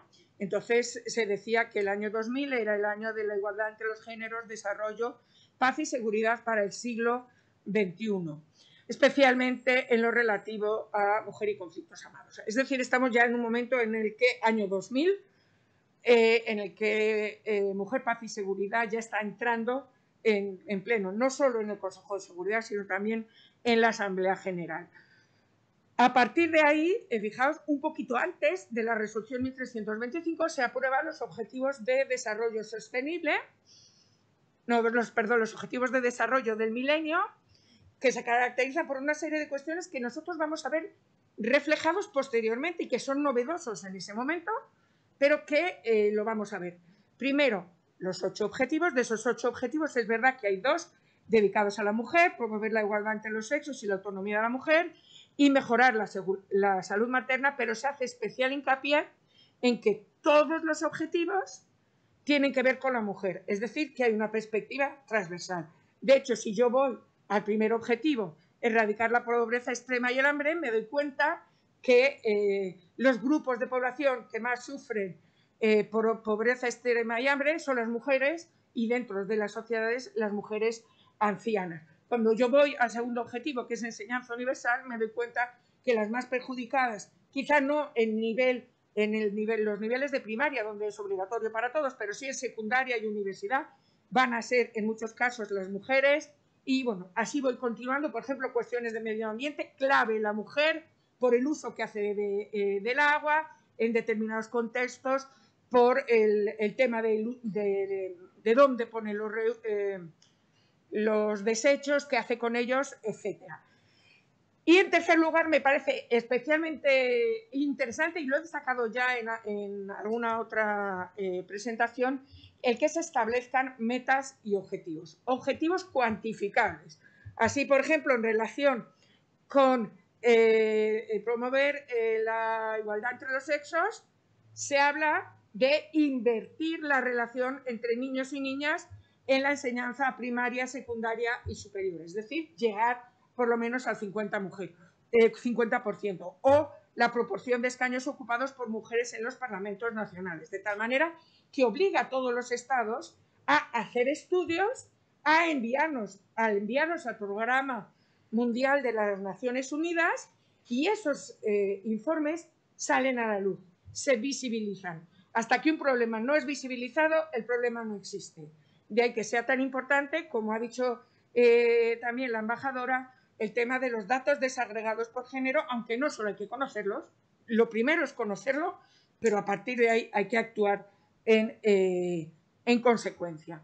Bien, el siguiente documento es la resolución 1325, que como ya se ha dicho en innumerables ocasiones, es la que abre las puertas al reconocimiento del papel de la mujer en, la paz y la seguridad internacionales, es fruto de otras resoluciones anteriores que hablaba de los civiles, y decía civiles, incluidos niños y mujeres, a partir de ahí se va a separar civiles por un lado, niños por otro, mujeres por otro, y dentro de las mujeres pues tenemos una serie de resoluciones que son muy importantes. Como también se ha destacado, casi todas las resoluciones del Consejo de Seguridad desde el año 2000 hasta casi el 2000 19 eh, se van a dedicar a la violencia sexual, que es uno de los grandes problemas en los conflictos armados, pero es verdad que ya desde la resolución 1325 se nos habla de eh, la participación de las mujeres en las operaciones de paz, de consolidación de la paz, en la gobernanza y la resolución 2122 eh, del 2013 pone el foco en la participación de las mujeres en solución eh, de conflictos y consolidación de la paz. Es decir, ya no es solo víctima, sino que es partícipe y además partícipe necesaria para construir una verdadera eh, paz. De esta manera, los ejes de la agenda Mujer, Paz y Seguridad van en tres eh, líneas que han sido desarrollados por los dos conferenciantes anteriores. Primero, violencia sexual, prevención, sanción y reparación. Tercer lugar, mujer como actora y en tercer lugar eh, la presencia de mujeres en todas las partes del, en todos los momentos del conflicto, consolidación de la paz, prevención, preparación, paralización y eh, reparación. Un documento que a mí me parece especialmente interesante es el documento del secretario general de las Naciones Unidas del 2005, que se llama Un concepto más amplio de libertad, dos puntos, desarrollo, seguridad y derechos humanos para todos, en el que nos vincula estos tres elementos. Desarrollo, seguridad, desarrollo, derechos humanos. Seguridad, derechos humanos, seguridad, desarrollo. De tal manera que entiende que no puede haber desarrollo si no hay seguridad y no hay respeto de los derechos humanos. Que no puede haber respeto de los derechos humanos si no hay seguridad, es decir, si hay amenazas a la seguridad en este concepto amplio y si no hay desarrollo que permita la satisfacción de las necesidades de eh, la población. Y eh, dentro de este concepto más amplio de libertad, que incluye seguridad, eh, justicia y desarrollo, se llama especialmente la atención a la superación existente de los prejuicios basados en géneros. Es decir, la paz y la seguridad tienen como base justicia, seguridad, derechos humanos y estos tienen como prioridad la eliminación de la discriminación hacia las mujeres.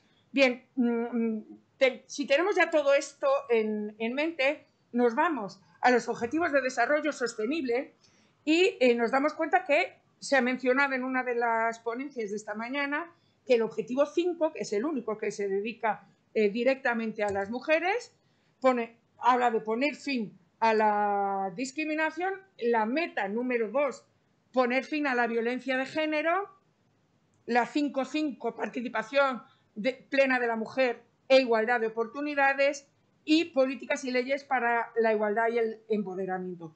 No habla nada en concreto de los conflictos armados, pero es verdad que introduce en cualquier país estos elementos. Pero yo creo, a mí me, eh, es más interesante el, eh, objetivo 16, y, con esto casi que ya termino, eh, que es el promover sociedades pacíficas inclusivas para el desarrollo sostenible, facilitar el acceso a la justicia para todos y construir a, todos los niveles instituciones eficaces y, e inclusivas que rindan cuentas. Fijaos, primer punto del elemento 16, de este elemento de política de gobernanza, de, instituciones públicas eh, eh, adecuadas para el, desarrollo de los países, se nos habla de, primero, reducir significativamente todas las formas de violencia y las correspondientes a las tasas de mortalidad en, en este mundo. Pero nos habla, por ejemplo, del tema de la corrupción, y ustedes dirán que tendrá que ver la corrupción con, la, con el tema de la violencia contra las mujeres. Bueno, pues cuanto más corruptos sean los países, más fácil es la existencia de trata de personas, de eh, violencia contra las mujeres, de agresiones, etcétera, porque más impunidad eh, hay. Cuanto menos acceso haya a la justicia, menos sanción habrá a estas, em, a estas agresiones y, por lo tanto, eh, mayor impunidad hay, habrá y eso generará una mayor comisión de estos comportamientos, porque sabemos que eh, el castigo de las sanciones es un elemento importante para frenar eh, su comisión. De tal manera que el elemento 16, que nos habla de gobiernos justos, estables, de, de ausencia de corrupción, de eliminar las formas de violencia en la sociedad y que sea garantizado por el por así decirlo, el poder legislativo, ejecutivo y judicial, pues son claves para el desarrollo sostenible, pero son claves también para conseguir mm, lo que estamos buscando, que es eh, vincular mujer, paz y seguridad. En este sentido, ya concluyo, eh, como ven, he cerrado un círculo, antes de Beijing ya se hablaba, eh, después de la resolución de 26-25, seguimos avanzando en este campo un poco movidos por toda la ola que ha supuesto eh, la resolución 1325 y siguientes. El concepto mujer, paz y seguridad se ha convertido en una combinación de elementos que es fruto del desarrollo de la propia comunidad internacional, pero la propia comunidad internacional ha desarrollado nuevos conceptos a partir de la presencia, participación, necesidades y expresión de la vulnerabilidad de las mujeres en determinados eh, eh, contextos. En contra de lo que se entiende, eh, tradicionalmente mujeres, paz y seguridad efectivamente hace referencia a guerras, a acuerdos de paz, a mujeres soldados, a procesos de desarme, desmovilización y reinserción en los que participan las mujeres, si eso es verdad, pero también hace referencia a mucho más hace referencia a desarrollo, libertad, seguridad, justicia, transparencia y gobernanza.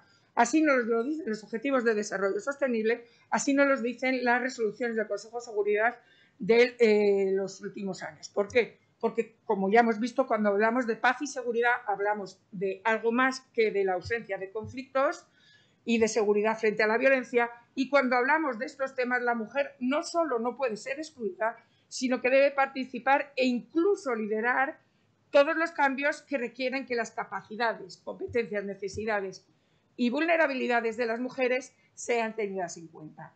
En, en definitiva, cuando hablamos de mujer, paz y seguridad, estamos hablando, por así decirlo, de un marco que debe liderar y ser el eje de la actuación de la comunidad internacional en todos los campos de acción. Bien, eh, con esto yo termino todo. Si hay alguna pregunta, supongo que pocas. Bien, pues entonces, como no hay muchas, de todas maneras yo voy a estar aquí al final, así que si alguien quiere hacer alguna pregunta la puede hacer a través del, a través de, ¿cómo se llama? del chat y yo la responderé si tengo tiempo al final, si no a través del, mismo chat. Por lo tanto, eh, voy a dar paso a la siguiente em, presentación. Digo quién es Vale.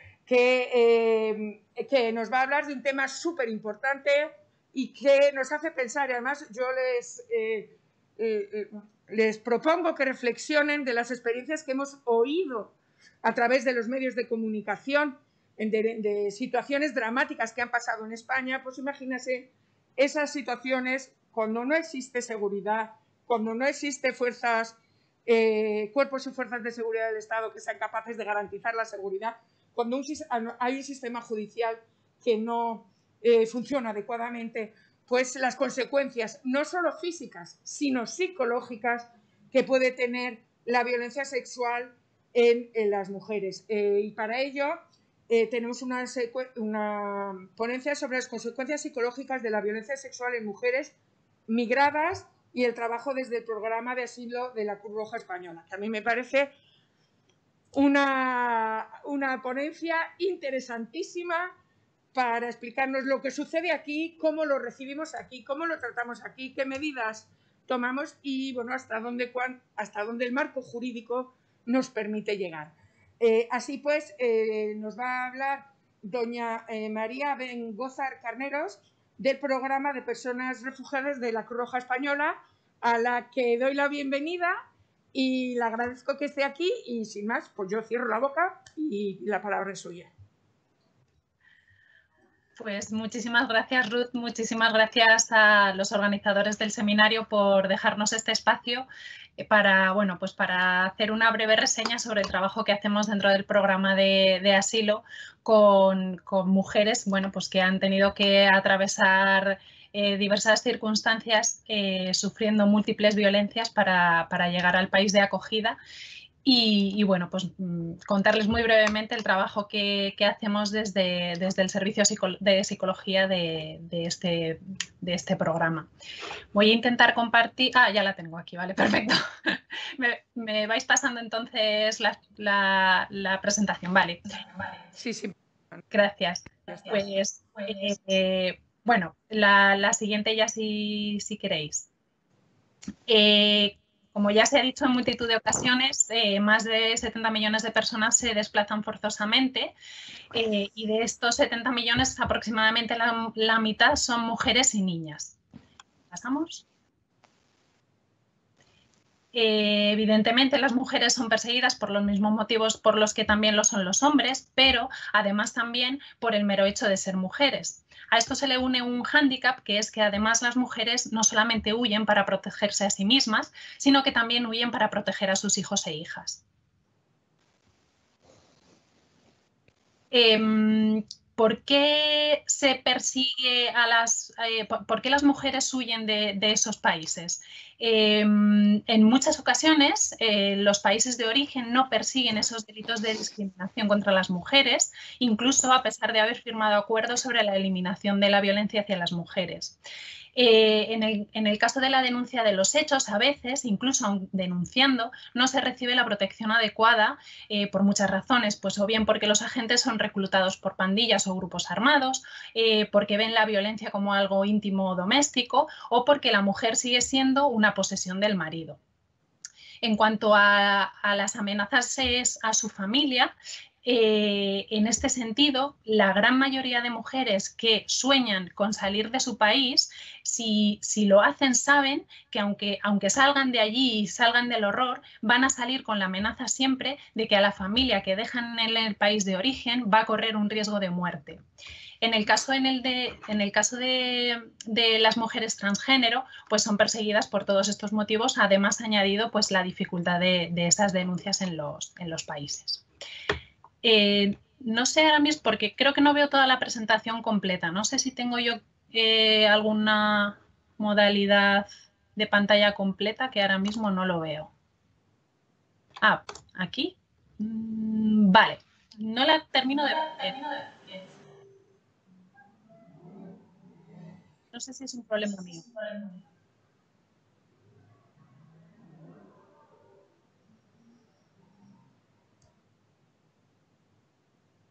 Bueno, pasamos intento igualmente seguirla. Vale.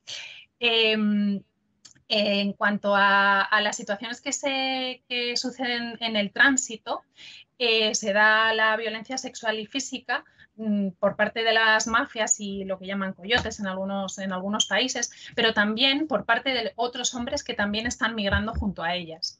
Eh, en este sentido, durante el tránsito, eh, las mujeres tienen un mayor riesgo de, enfermedades, pues como enfermedades de transmisión sexual, abortos sin ninguna seguridad quirúrgica o son obligadas a tomar medicamentos sin control. Eh, también tienen el riesgo de, embarazos no deseados y abortos y de hecho un gran porcentaje de estas mujeres manifiestan haber tomado anticonceptivos previamente y durante el trayecto precisamente para evitar estos embarazos no deseados. Además, como también se sabe, eh, son obligadas a, prostituirse para pagar deudas eh, con amenazas, extorsión, etc. Siguiente. Em, a pesar de que, existe un gran reconocimiento internacional de esas múltiples vulnerabilidades en, las, mujeres, em, sigue existiendo una sobreexposición de estas mujeres a esas violencias durante el proceso migratorio, pero no solamente en el país de origen y en el proceso migratorio, sino que además en el propio país de acogida existe un incremento de esa vulnerabilidad, de esa predisposición a sufrir una mayor violencia de género o violencia sexual. Em, en el trabajo que se realiza teniendo en cuenta eh, a estas mujeres migradas, sabiendo que vienen al, país eh, de destino, es imprescindible incorporar esa, perspectiva de, género, pero no solamente una perspectiva de género, sino también una mirada transcultural en muchas ocasiones se ve eh, cierto reduccionismo, pues interpretando que esas causas de la violencia radican únicamente en esos factores culturales, tomando esa cultura de una manera homogénea y diferenciando es que esto es de su cultura frente a la nuestra. ¿Seguimos? Em, y también hay que tener en cuenta ciertos aspectos, a pesar de que la violencia tiene unos conceptos universales, como puede ser el patriarcado, la construcción social de los géneros, el mantenimiento de los privilegios, etc., es verdad que existen ciertas diferencias en eso que llamamos lo universal. Eh, por un lado, en las conductas de violencia no son iguales las maneras de ejercer esa violencia, pero tampoco es igual la manera en la que se percibe esa violencia. Por tanto, es, es necesaria esta mirada transcultural que decíamos, porque la percepción de esa propia violencia también difiere de unas culturas a otras. incluso los discursos legitimadores que las mujeres y los hombres utilizan para, mencionarlas.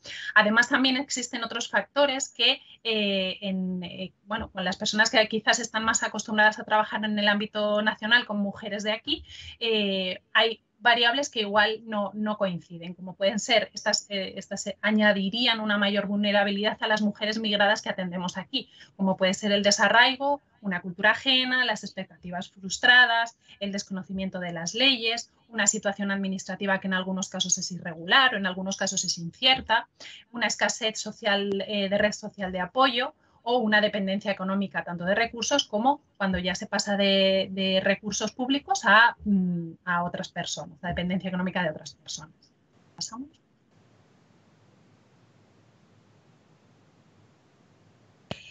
Eh, en cuanto ya centrándonos en las consecuencias psicológicas de la violencia sexual y de género, em, bueno, las investigaciones hablan de, que las personas que se ven expuestas a graves traumas presentan o pueden presentar un mayor índice de trastornos psicológicos que la población del país de destino. En este sentido, se habla muy comúnmente del trastorno de estrés postraumático, eh, pero también se, menciona quizás este otro trastorno que lo veremos un poquito más adelante, que, está referido a los cuadros disociativos, aunque también, por supuesto, se, manifiesta asociado pues, a otras dificultades como son las crisis de ansiedad, los cuadros depresivos o somatizaciones.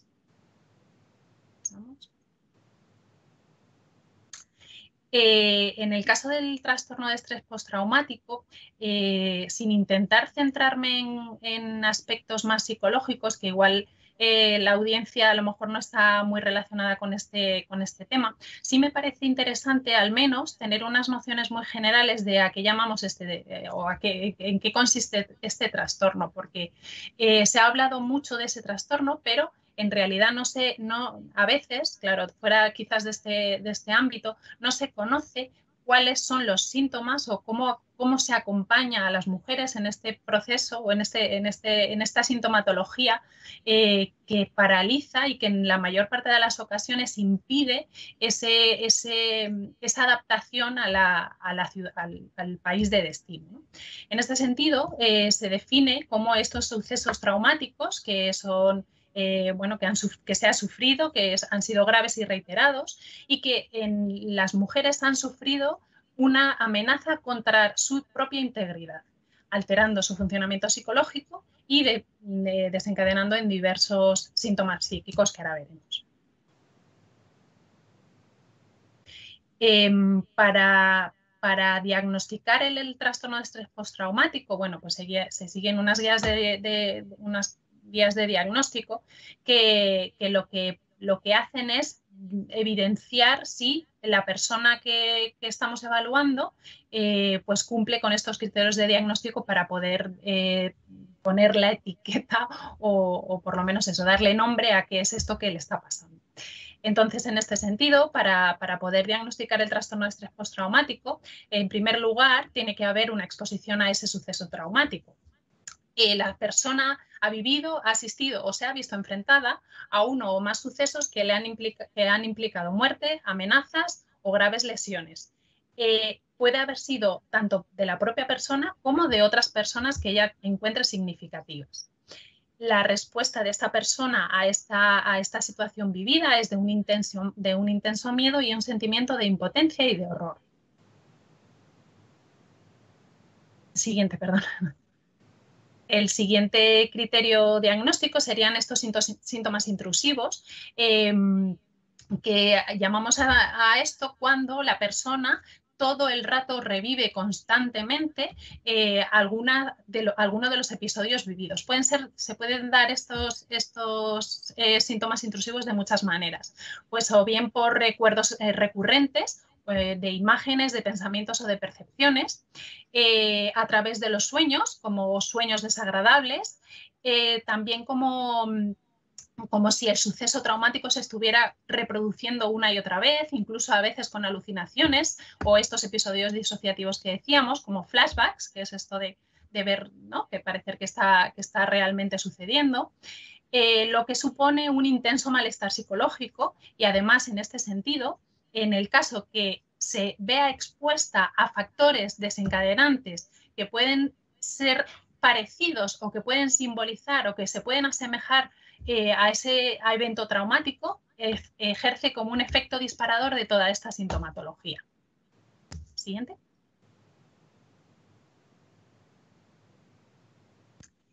Eh, el tercer criterio sería la presencia de síntomas evitativos, es decir, la persona evita estos estímulos que están asociados al trauma, lo que, lo que se traduce en una disminución de la, capacidad de reacción en general. La persona o las mujeres eh, realizan verdaderos esfuerzos por evitar esos pensamientos, esas sensaciones o, todo aquello que se recuerda al, evento traumático.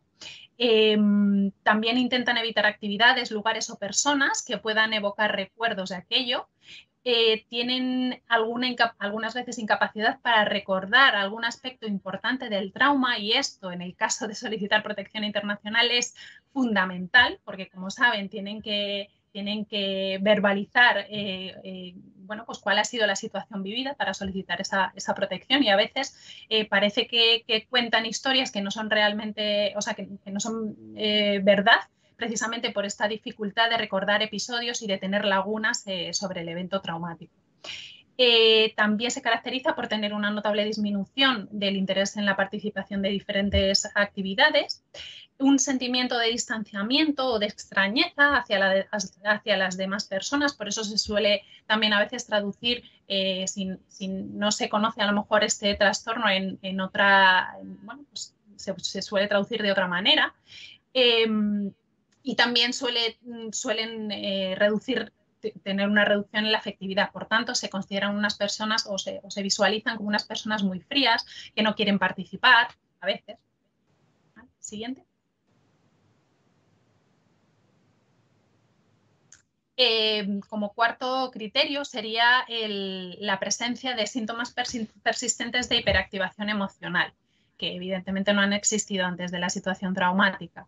Em, se puede traducir, como decía, en dificultades para dormir o mantener el sueño, irritabilidad o ataques de ira, dificultad para concentrarse, estar permanentemente hipervigilantes o reacciones de alarma exageradas.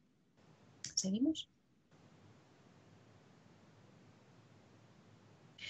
Em, aparte del trastorno de estrés postraumático, tenemos ciertos, eh, ciertos indicadores que nos pueden sugerir que muy probablemente las, mujeres a las que estamos eh, atendiendo puedan ser víctimas de violencia sexual o de género. Y hay unos, como digo, unos indicadores que se, que se dan en la gran mayoría de mujeres que han sufrido una situación eh, de violencia. Por ejemplo, la baja autoestima, pero no representada desde otros factores que también lo vemos en otras, en otras quizás en otras mujeres, sino aquí em, lo, especifican así, como ser indignas del amor de otras personas.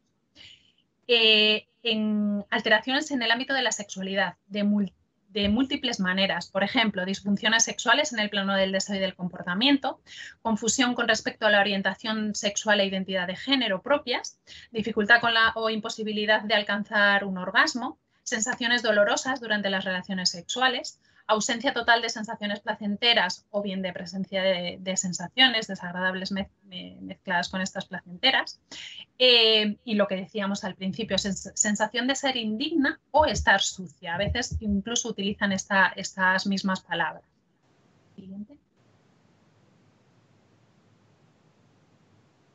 Em, también suele ser un indicador la promiscuidad sexual, que a veces eh, en este sentido puede ser interpretada de otra manera completamente opuesta, ¿no? Y, es interesante porque efectivamente cumple con, estos indicadores que generalmente eh, suelen tener estas mujeres que se han visto expuestas a estas situaciones de violencia. Em, también síntomas de ansiedad y depresión, eh, somatizaciones o abuso de sustancias, y dificultad para mantener estas relaciones interpersonales desde, bueno, pues porque se genera mucha desconfianza o suspicacia. Eh, tienen una dificultad en el control de la, ira, un exceso de dependencia eh, de otras personas, lo que dificulta también que, ellas puedan promover su autonomía.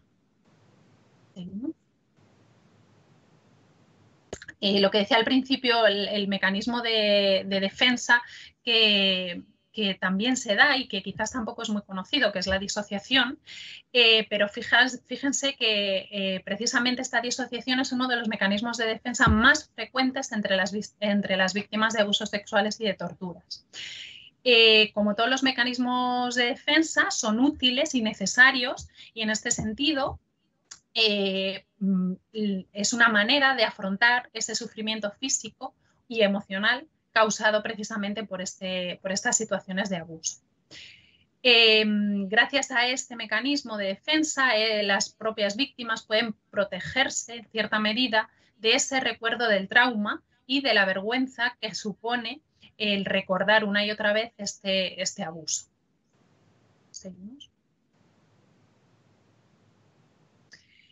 Em, bueno, algunas teorías hablan de los mecanismos de defensa también como un intento de control, ¿no? Pues eh, mediante, el distanciamiento de los mismos, pues eh, eh, consigo cierto control de esos recuerdos traumáticos que si recuerdan hablando del estrés postraumático, ¿no? Pues a veces son tan intrusivos que incluso la persona no puede gestionarlos y aparecen cuando menos uno se lo espera, ¿no? Em, la disociación es un continuo y puede variar desde un punto que es mucho más eh, grave hasta otro que es mucho más, mucho más leve. Em, lo que suele caracterizarse esta, esta disociación es desde luego por una huida involuntaria de la realidad que se, que se configura como una desconexión de esos pensamientos, de esa identidad, de esa conciencia y de esos recuerdos. Por tanto, y volviendo otra vez a, la solicitud de protección internacional, evidentemente las mujeres que han sido víctimas de violencia sexual y de género tienen todavía más dificultades para eh, poder contar por qué han tenido que salir huyendo de sus países de origen y por qué son eh, y por qué solicitan esa protección internacional. ¿Seguimos? Em, dentro del programa de, solicitud de protección internacional eh, existe eh, definido eh, cuáles son esas causas específicas de asilo relacionadas con la, con la violencia. Em, violencia física o violencia sexual, sabemos que una de cada tres mujeres la sufre. discriminación grave, evidentemente las mujeres es la más extendida la trata de seres humanos, el 98% de las víctimas con fines de explotación sexual son mujeres y niñas, la imposición de normas sociales y religiosas, em, la orientación sexual e identidad de género, evidentemente todos eh, sabemos que la persecución por, por, mantener relaciones con el mismo sexo sucede eh, cada vez en, más países, eh, la mutilación genital femenina, tenemos la cifra de cerca de 200 millones de mujeres y niñas son mutiladas en sus órganos genitales. Eh, los crímenes, contra el honor, las mujeres son castigadas por pensar que han traído vergüenza y deshonor a sus familias, aunque hayan sido violadas por, eh, un hombre. Eh, y los matrimonios forzados que saben que son principalmente con niñas. ¿Pasamos? En cuanto al abordaje desde el programa de asilo, el programa de, asilo em, eh, conlleva unas fases, bueno, ahora mismo está dividido en unas, en unas fases del itinerario, que es en el que mm, desde, desde este programa podemos trabajar con las mujeres. Em, simplemente y sin entrar en mucho detalle, los tiempos van a ser fundamentales para, para, poder diseñar ese trabajo terapéutico que podemos hacer en, estas, en cada una de las fases y sabiendo que el periodo del itinerario dura 18 meses, extensible a, a 24, pero que es un periodo relativamente corto para trabajar ciertos aspectos, como hemos visto antes, ¿no? trastornos que están bueno, pues muy relacionados con otros aspectos de la integración y que, va a ser complejo. Em, en, cuanto al servicio de atención psicológica dentro del programa de asilo, es un servicio transversal que, cubre todas las fases del programa, por tanto, todas las personas que entran dentro del programa de asilo, que han solicitado protección internacional, eh, pueden acceder a este servicio.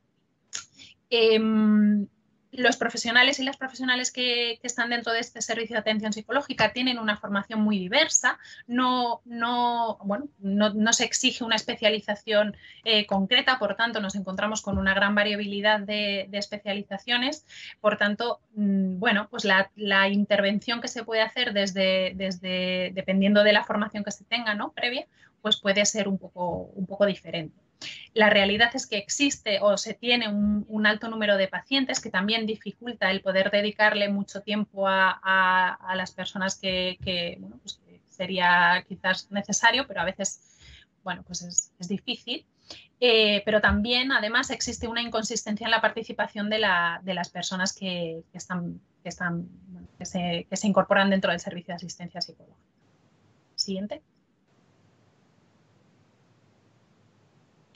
Em, por tanto, con todo este marco que, les contaba, con sabiendo cómo, bueno, cómo llegan las mujeres a nuestro país, sabiendo la limitación de los tiempos que tenemos dentro del programa de asilo, de la diversidad de formaciones previas de nuestro, de nuestro personal, bueno, pues nos, teníamos que poner unos objetivos generales que eh, en el caso de las mujeres víctimas de violencia sexual y de género, bueno, pues que pudieran, eh, como siempre insistimos, ¿no? Al menos no hacer daño.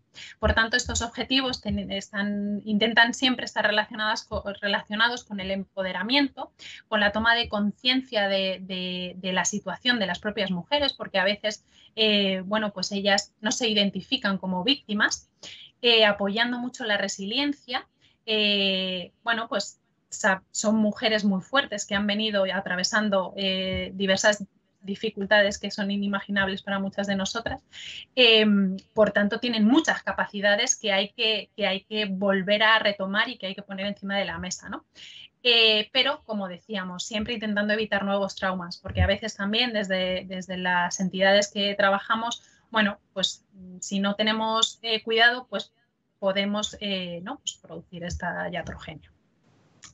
Em, también a lo largo de, esto, este, de este tiempo de intervención y de estas experiencias que, se han venido eh, acumulando en los equipos, se han transformado estos objetivos o, bueno, no, se han complementado con otros objetivos secundarios, como puede ser, por ejemplo, respetar siempre los tiempos de las mujeres, que no, a pesar de que a veces desde el programa tenemos prisa ¿no? por intervenir y por, por empezar cuanto antes, cada mujer tiene sus tiempos y, eh, bueno, pues hay que respetarlos y hay que ir poco a poco cuando sea necesario, em, sabiendo que las intervenciones tienen que ser muy personalizadas. Tenemos que intentar reducir la activación porque a veces, con esa sintomatología que decíamos, eh, vienen con una activación demasiado, demasiado alta que hay que reducirla para poder intervenir. Sin esa reducción inicial, es, muchas veces va a ser muy difícil poder eh, ponerse a intervenir con ellas. Eh, trabajar desde el aquí y el ahora, em, con esta mezcla de, como veíamos, ¿no? de, recuerdos, de imágenes, de pensamientos intrusivos. Es muy complejo el elaborar un discurso que sea coherente y que no se vea interferido por todo esto que traen de atrás. Por tanto, es verdad que a veces eh, funciona bien trabajar desde el aquí y el ahora. Bueno, son técnicas que ahora veremos. Em, también incrementar el control, incrementar su control. Hemos visto que, por ejemplo, la disociación puede ser un mecanismo de defensa que esté relacionada este, con este control y en este sentido tenemos que reforzar el que ellas tengan control sobre esto que está sucediendo, sobre este proceso que estamos comenzando desde el servicio psicológico. ¿Y cómo se puede conseguir este control? Pues dando información de qué es lo que vamos a hacer en cada momento, aprovechando la regulación emocional para que ellas sean capaces de regular sus emociones, ajustar las expectativas, esto es lo que vamos a hacer, esto es lo que te vas a encontrar, esto es lo que no vas a conseguir, eh, y fomentando la seguridad. Eh, y lo que decíamos, bueno, pues promover las capacidades y competencias personales que las tienen y que eh, a veces se quedan escondidas o tapadas y que sin que ellas mismas se den cuenta de esas capacidades que tienen. Seguimos. Em, desde hay las personas que sean más del ámbito de la psicología sabrán que hay muchas aproximaciones psicológicas. Em, en este sentido, bueno, pues también decíamos, ¿no? dependiendo de la, formación de cada profesional y de, la experiencia de, bueno, pues de las mujeres con las que vamos a intervenir, tendremos que intentar eh, bueno, pues utilizar las aproximaciones psicológicas que, encajen bien, ¿no? Pero insisto porque creo que es importantísimo siempre desde esta mirada transcultural. Eh, bueno, pues porque la psicología también, eh, también debe incorporar esta mirada transcultural si, queremos que, sea, que se haga una intervención adecuada con las mujeres migradas. Eh, dentro de estas aproximaciones, como decíamos, bueno, pues eh, estaría la cognitivo-conductual, que está centrada más en el trauma, quizás está más, es la más occidental o por lo menos la que más, bueno, la que más se suele, se suele llevar a cabo eh, aquí, em, que serían estas técnicas más clásicas de identificación de modelos de pensamiento distorsionados por este trauma y trabajar en esa modificación. Eh, la terapia de exposición narrativa, que tiene que ver con la manera en la que, en la que los sucesos traumáticos se narran. Em, lo que se intenta es, bueno, pues ver la manera de intervenir en esas narraciones para que los síntomas que están relacionados con, este, con esa historia, con cómo ellas cuentan su historia, se pueda reconstruir de otra manera más consciente, porque a veces eh, suceden las cosas eh, y se almacenan casi de manera inconsciente, eh, pero que ellas puedan contar su historia de manera consciente, como decía, y coherente con su situación vivida. Eh, luego hay otras técnicas, eh, pues como por ejemplo la desensibilización, el, EMDR, que igual pues algunas personas lo conocen, que tiene que ver con esa desensibilización. Eh, bueno, pues es un proceso Em, eh, que se hace con, la visión, con, el movimiento de los ojos, y que lo que intenta es recordar esos sucesos traumáticos que han quedado de manera almacenados de manera inconsciente para elaborar, para poder elaborar esas propias vivencias y almacenarlas donde corresponde. Eh, también las terapias eh, corporales, esto tiene mucho que ver con el eh, bueno, pues con el aquí y con el ahora, también el mindfulness que viene, que viene ahora después, em, como hay mucha sintomatología somática de esta experiencia traumática, pues se parte de, este análisis del cuerpo, pasando también por las emociones y llegando a las condiciones. Em, es una manera de, eh, impulsar esto que, llamamos el proceso de acceso, evocación y sobre todo la reelaboración y la integración de esas experiencias traumáticas. El mindfulness, que ahora también, eh, bueno, pues seguramente lo hayan escuchado muchas de las personas que están en, el seminario, pues es esta práctica relacionada, muy relacionada con la meditación, pero que también además está relacionado con el propio cuerpo, con la autoconsciencia de la experiencia y también con el entorno. Eh, y por supuesto el tratamiento farmacológico que se utiliza y que en muchas ocasiones es necesario, aunque hay que ser consciente de que presenta muchos riesgos. Por tanto, es recomendable siempre, o así la, investigación lo, recuerda, es recomendable siempre y cuando no sean posibles otras, eh, otras aproximaciones eh, como las que hemos hablado anteriormente. Pues por mi parte, nada más. No sé si hay... No sé si, Muy bien, muchas gracias. Igual he ido muy rápido. No, se ha entendido. Además, con el, con el PowerPoint, pues bueno, se va uno apoyando en... Eh, o sea, va, viendo gráficamente lo que eh, la narrativa de tu, de tu exposición.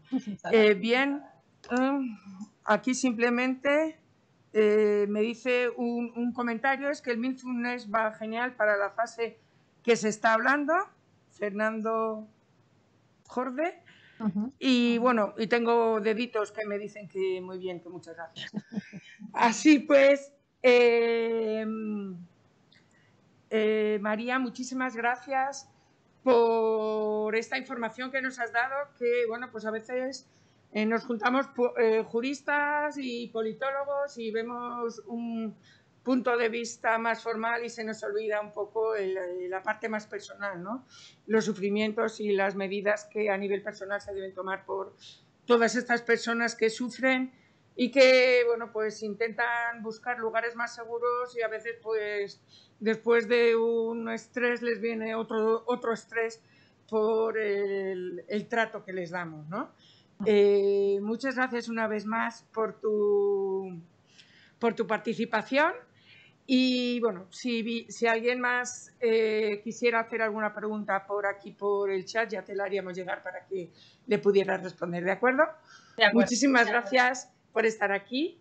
Y, ahora eh, voy a dar la palabra a la eh, profesora y directora de este seminario, doña Concepción eh, Escobar, para que dé paso a la parte final de este seminario. pues sin más, le doy la palabra.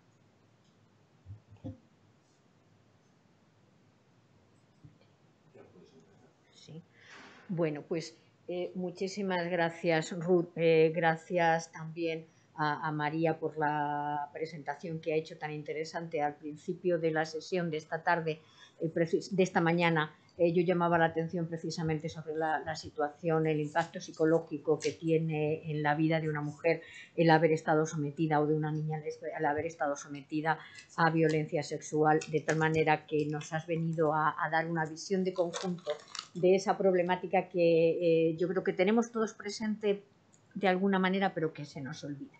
Bueno, pues para terminar el seminario no nos queda ya más que eh, movernos directamente hacia la parte relativa a conclusiones y recomendaciones. Eh, las conclusiones y recomendaciones las va a realizar Milena Costas Trascasa, que es Trascasas, que es profesora de nuestro Centro de Derecho Internacional Humanitario de la Cruz Roja Española y eh, en este momento es miembro del Comité Asesor del Consejo de Derechos Humanos de las Naciones Unidas y consultora en materia de, derechos humanos. La idea de las conclusiones y recomendaciones es lanzar una primera, una primera valoración sobre el contenido de este seminario eh, en el bien entendido de que cuando vayan eh, en, los próximos días haremos una presentación eh, formal, se redactarán formalmente las conclusiones y recomendaciones y se harán, como hicimos también el año pasado, públicas. Las enviaremos a la Oficina de Derechos Humanos y al resto de los participantes en este seminario y yo creo que incluso a lo mejor las podemos hacer públicas, quizás sea la mejor fórmula también en la, página web del propio CEDI para conocimiento general. Bueno, y sin más prolegómenos, Milena, como siempre, mil gracias por estar con nosotros y mil gracias por ocuparte de una parte que no es precisamente la más fácil de un seminario, ¿eh? que es la presentación de, las conclusiones y recomendaciones. Estoy segura de que, como siempre, va a ser eh, muy claro y va a ser un gran éxito y sin más, bueno, pues eh, tienes la palabra y a partir de este momento todo el tiempo es tuyo hasta la clausura. Gracias. Eh, voy rápido y un, saludo cordial a todos los participantes y, como no, agradecer al Centro de Estudios de Derecho Internacional Humanitario de Cruz Roja Española, con el que colaboro desde hace ya casi 20 años, que hayan contado conmigo para, esta, para participar en este seminario y bueno, especialmente la invitación eh, que me han dirigido y por lo tanto agradezco a la directora del centro, Concha Escobar, y también al secretario técnico, Joaquín López, eh, bueno, que sigan contando conmigo para todas estas iniciativas. Como ya ha comentado Concha, eh, me corresponde poner el broche final a esta jornada que yo definiría como intensa y aún así pues extremadamente interesante. Eh, las diversas eh, mesas redondas y presentaciones que hemos eh, escuchado a lo largo de todo el día nos han permitido conjugar distintos elementos de la teoría y la práctica. Y bueno, de la teoría y la práctica tanto legal como humanitaria y diplomática. Y además nos han permitido identificar algunos de los principales problemas, tanto de, digamos, a nivel de lagunas y también a nivel legal, político y operacional, operativo, que afectan particularmente a las mujeres, a las niñas en situaciones de conflicto armado y especialmente eh, la, violencia sexual. Eh, bueno, yo eh, simplemente, como yo creo que ya están cansados y bueno, pues tampoco es fácil resumir todo lo que se ha dicho hoy en pocos minutos, tampoco me atrevo a hacerlo, pues quisiera simplemente hacer hincapié en las principales ideas de carácter transversal que he ido extrayendo a lo largo de la jornada y eh, bueno, que por supuesto se concretarán en las principales conclusiones y recomendaciones. Eh, bueno, pues aquí me pido disculpas, eh, ya hemos visto distintos enfoques interdisciplinares a lo largo de toda la jornada y bueno, pues yo como soy jurista, pues voy a tener un sesgo bastante marcado pues jurídico. Eh, bueno, creo que una de las principales eh, ideas que se ha puesto de relieve eh, desde el principio se refiere al, cambio o, al cambio de paradigma que en lo que respecta a las cuestiones de género y la percepción del rol de la mujer en los conflictos armados. Y como se ha dicho, pues hemos pasado, y creo que es importante subrayarlo, de la idea de la mujer como víctima y perteneciente a un grupo vulnerable eh, que se refleja o que reflejaba eh, la moral social predominante del momento en el que se elaboraron los instrumentos que hemos ido estudiando, a, digamos, una orientación eh, más distinta y donde la violencia sexual en el conflicto armado se considera más bien como el reflejo de dinámicas estructurales de discriminación, de dominación y que, eh, que toleran o que contribuyen a, eh, tolerar la, eh, la, violencia sexual. En la actualidad, como sabemos y como también se ha indicado a lo largo de, toda, de todo el día, bueno, pues las distintas políticas nacionales y sobre todo las agendas internacionales apuestan por el empoderamiento de la mujer, su participación o incrementar la participación de las mujeres en los procesos decisionales y en transformarla en un agente de cambio antes, durante y después eh, de los conflictos armados. Eh, por lo tanto, eh, insisto en que no resulta ya válido, como también se comentó en la primera mesa, el enfoque tradicional y, sin embargo, bueno, pues se sigue considerando que las mujeres tienen unas necesidades especiales. ello no quiere decir que tengan que ser tratadas como personas más débiles o frágiles, sino simplemente, bueno, pues que ello llama a desarrollar políticas que tengan en cuenta y normas que tengan en cuenta las especiales necesidades que puedan surgir por su especial condición. Bueno, pero a pesar de que, como también se ha indicado y se ha demostrado a lo largo de la historia, eh, las mujeres han tenido cada vez un papel más importante en los conflictos armados eh, y también como eh, combatientes. bueno, pues esto contrasta con un hecho que es su escasa participación en los procesos de paz en general y también en las tomas de decisión en, en las situaciones de posconflicto. Y esto, bueno, pues a mi parecer siguen demostrando que sigue existiendo una visión sesgada sobre el rol que corresponde a la mujer como parte activa en la política y más concretamente en la construcción o reconstrucción de la sociedad. Eh, bueno, simplemente incidir en algunos aspectos que me parecieron interesantes en este sentido o frases eh, que se emplearon eh, a lo largo de las diversas ponencias de la primera mesa donde se habló de las construcciones eh, sociales de género y de roles, y también en esa idea de que el bien jurídico protegido ha cambiado y mientras que en un inicio se consideraba que era el honor, esas ideas un poco abstractas, ¿no? Eh, como el honor y el, eh, digamos, el pudor, bueno, pues en la actualidad, a la vista de la, y que ocultaban, digamos, esa percepción, la naturaleza violenta de los crímenes de violencia sexual, bueno, pues se ha, propuesto en, esta jornada eh, un cambio de eh, perspectiva y de orientación en cuanto al fundamento de estos crímenes, eh, crímenes y bueno, pues, la construcción de, o la identificación del bien jurídico como la integridad física y moral. E incluso se ha mencionado que la protección especial de la mujer se puede construir sobre la base de bienes jurídicos neutros como sería el derecho a la intimidad, eh, por ejemplo. Bueno, eh, en cuanto a... Em, en cuanto a el cambio de paradigma, eh, yo creo que es importante contextualizarlo en cierta manera, porque de ahí también nos va esta contextualización nos va a permitir ver en cierta manera cuáles son, digamos, el, el, contexto eh, pero también algunas de las eh, principales problemáticas a las cuales nos enfrentamos eh, actualmente en esta temática. yo creo que, en primer lugar, habría que señalar el cambio de contexto en, en, el sentido del carácter preponderante o en la tipología de conflictos armados y el carácter preponderante de los conflictos armados no internacionales y su más reciente vinculación con el terrorismo internacional. Situación que, como sabemos, como sabrán todos los estudiantes seguramente de la profesora Ruth Abril, eh, bueno, pues eh, determinan el régimen jurídico aplicable. Y en este sentido, eh, la directora de la Oficina de Derechos, Humanos del Ministerio ya se refirió en particular la, a la particularidad de estos nuevos conflictos donde los grupos armados no estatales incorporan la violencia sexual y un especial prejuicio con respecto al papel de la mujer en la sociedad como estrategia, ideología identitaria y, eh, bueno, y que condiciona todas sus acciones y también su proyecto político y social.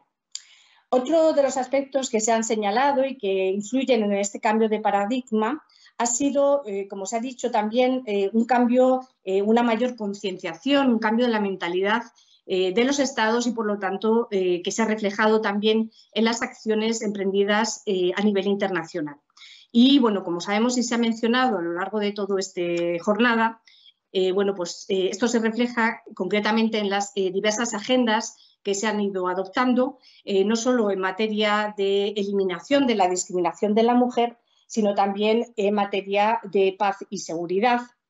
Y eh, yo creo que es importante incidir en el hecho de que eh, se reconoce explícitamente, y esto lo reconoce bueno, pues, el Consejo de Seguridad, en la vinculación, como también se ha señalado, entre eh, bueno, pues el carácter generalizado y sistemático de los actos de violencia sexual en el ámbito de los conflictos armados con la paz y la seguridad internacionales. Y más concretamente, bueno, pues se considera que esta libertad sexual, o perdón, estos ataques a la libertad sexual del que son objeto las mujeres en estos contextos, son también y especialmente una consecuencia directa o bien el reflejo de una situación de violencia y discriminación estructural. Sin duda, eh, la Convención de la ONU eh, para la eliminación de todas formas de discriminación contra la mujer y eh, toda, digamos, la acción de su comité de supervisión han sido determinantes para este avance también en la mentalidad de la comunidad internacional.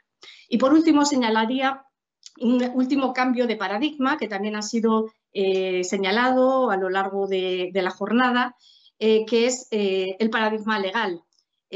con el desarrollo a lo largo de bueno, pues este, estos mm, años o este periodo después de la Segunda Guerra Mundial, de tres amplios cuerpos jurídicos y normativos que se dirigen directamente a la eliminación de toda forma de discriminación de la mujer y también eh, a eh, proteger de manera específica las necesidades de protección y asistenciales eh, en el caso de o en situaciones de conflicto armado.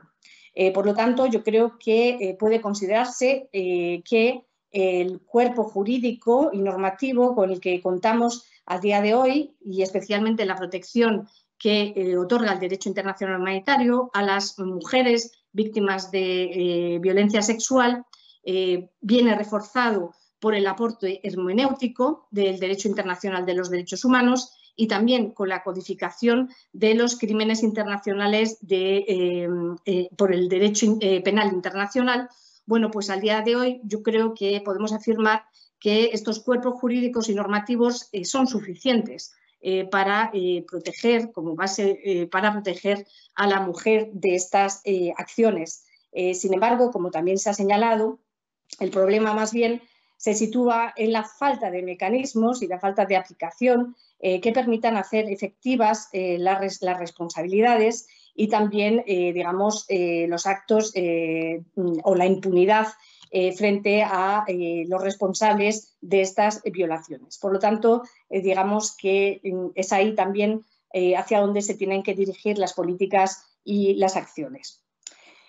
Em, un aspecto que no se ha tratado mucho, quizás en la última ponencia pueda enlazar con él, y que sin embargo quizás me gustaría incluir en, en, estas conclusiones con vistas a ver si se puede incluir también en el documento final, eh, bueno, pues eh, se refieren a eh, no solo los mecanismos de represión y de reparación como, a los que me he referido y a su eficacia, sino que también, bueno, pues creo que uno de los principales desafíos es facilitar la acción de las organizaciones humanitarias en la práctica para la protección eh, y asistencia de las mujeres víctimas de violencia sexual. Eh, como sabemos, y esto también tiene que ver con lo que he mencionado antes, estas eh, actividades al día de hoy encuentran enormes dificultades, especialmente debido a la confusión que se ha creado en cuanto al marco jurídico aplicable en los conflictos armados y tiene que ver efectivamente con lo que mencioné anteriormente, que es el problema de que eh, estos grupos eh, sean calificados como eh, terroristas. Y también creo que esto viene vinculado a la mención que ha hecho la embajadora de las sanciones que se van a aplicar donde efectivamente también, bueno, pues estas sanciones, aunque se diga que son dirigidas concretamente, targeted, no sé, ahora no me viene la palabra en español, eh, bueno, pues eh, eh, realmente, como sabemos, está afectando enormemente a la acción de las organizaciones humanitarias. otro aspecto, y ya es el cuarto, me quedan solo, marqué cinco, un aspecto que creo que es importante es la definición de violencia sexual y bueno, tal y como se refleja en el dossier eh, que nos han eh, preparado que y, que está, a nuestra disposición, eh, bueno, pues em, me voy a referir, si parece bien, a todos los participantes y ponentes al informe del secretario general de Naciones Unidas que, bueno, pues de 2019 reitera una definición de trabajo que se emplea en el ámbito de las Naciones Unidas y bueno, pues se considera que hace referencia a la violación, esclavitud sexual, prostitución forzada, embarazo forzado, aborto forzado, esterilización, forzada, matrimonio forzado y todas las demás formas de violencia sexual de gravedad comparable perpetradas contra mujeres, hombres, niñas o niños que tienen una vinculación directa o indirecta con un conflicto. En la segunda mesa eh, del día de hoy, eh, bueno, pues hemos tenido eh, un análisis exhaustivo y detallado de estos distintos tipos de crímenes y bueno, pues, delitos y también de la jurisprudencia de la Corte Penal Internacional y también de cómo han sido tipificados en el ámbito interno. Eh, con respecto a esta definición, bueno, pues eh, simplemente hacer hincapié en por qué eh, bueno, pues se han excluido a los niños y los hombres y bueno, pues fundamentalmente, como ya se ha dicho, es por el efecto desproporcionado que estas violaciones tienen sobre las mujeres y lo cual no quita que, como se ha señalado y como señalado también la directora de la Oficina de Derechos Humanos, eh, bueno, pues eh, la violencia sexual contra los hombres también es un aspecto preocupante porque a menudo eh, aparece, bueno, pues se esconde o se invisibiliza. Bueno, otro de los aspectos relativos a la, definición es que, bueno, pues como se ha mencionado también en diversas ponencias, bueno, pues no, no, debe de considerarse esta una lista cerrada y a esto se hace referencia con los tipos eh, residuales. Y eh, bueno, pues eh, con respecto a si la terminología del derecho internacional humanitario ya resultaba o, resulta obsoleta a la luz del nuevo enfoque, bueno, pues creo que es importante lo que se ha mencionado a la luz o al margen de esta pregunta, y eh, bueno, pues se ha señalado por parte de la profesora eh, Charo Ginaga que eh, este, este cambio, digamos, no es necesario, ni oportuno, ni tampoco conveniente. Y de hecho ha señalado que nuevas realidades se han ido incorporando a través de la jurisprudencia de los tribunales penales internacionales, también el Estatuto de la Corte Penal Internacional, y que por lo tanto ya se pueden considerar como consolidadas y precisamente ha señalado eh, el derecho internacional consuetudinario y el papel que ha desempeñado en este sentido. Eh, ya un última idea, porque fue el tema de mi tesis, eh, que es señalar también, como se ha, como se ha mencionado, la complementariedad entre el derecho internacional humanitario y el derecho internacional de los derechos humanos. ya he mencionado de pasada que bueno, pues los derechos humanos eh, son fundamentales también para interpretar las normas de derecho internacional humanitario a la luz de estas eh, disposiciones. Y por lo tanto también imponiendo esta nueva perspectiva, la perspectiva de los derechos humanos más progresista también, las, tanto en las políticas de eh, prevención como de represión. Y bueno, pues a los alumnos recomiendo eh, el artículo publicado en la revista internacional de la Cruz Roja y la Media Luna Roja por Gloria Gayoli de 2014, eh, donde precisamente eh, bueno, pues habla de esta interacción. Finalmente, bueno, pues en lo que se refiere a la acción de España en este ámbito, pues me quedo con las tres ponencias que se han hecho y eh, que indican el amplio compromiso de nuestro, que nuestro país ha adquirido en materia de igualdad de la mujer y eh, su iniciativa y liderazgo que ha asumido en esta temática en eh, diversos foros internacionales. también bueno, pues mm, destaco las acciones que se han adoptado en el ámbito interno, como demuestra el segundo Plan Nacional de Acción eh, Mujeres, Paz y Seguridad, al cual se ha referido eh, pues, eh, bastante en detalle la última mesa de esta tarde. Y por lo tanto creo que bueno, pues tenemos un gran, una política destacada en este sentido y en esta temática. no obstante, siempre hay que poner un pero, hay que ser críticos, hay que intentar mejorar eh, yo creo eh, que, como se ha explicado, todavía queda mucho por hacer y avanzar, especialmente sobre el terreno. Esto también lo ha indicado la embajadora Clara Cabrera y precisamente ya ha indicado eh, la laguna que existe entre los compromisos que se adquieren y luego también efectivamente eh, los resultados que se obtienen y también eh, cómo preservar o el problema que con el que se están enfrentando al día de hoy para preservar los progresos que ya se han hecho hasta el momento. Con lo cual, lo que nos indica que los vientos que soplan no son favorables en general a los derechos humanos y en concreto a los derechos de la mujer y a su, y a su protección contra la la violencia sexual. Bueno, no tengo tiempo ni tampoco me atrevo, como dije, eh, no soy tan eh, atrevida para entrar en detalle en las distintas ideas y conclusiones eh, que puedo extraer de las mesas. han sido, coincidirán conmigo, unas presentaciones extremadamente detalladas y, no obstante, bueno, pues asumo el compromiso y no tengan duda de que así lo haré de extraer la esencia de las distintas mesas eh, y las intervenciones y que incluiré en el documento de conclusiones y recomendaciones. En este documento también eh, quiero incluir y completar un poco el dossier que ya se distribuyó eh, con referencias al hilo de las ponencias que se han hecho hoy, referencias documentales y bueno, pues simplemente indicar algunos documentos que me parecen esenciales.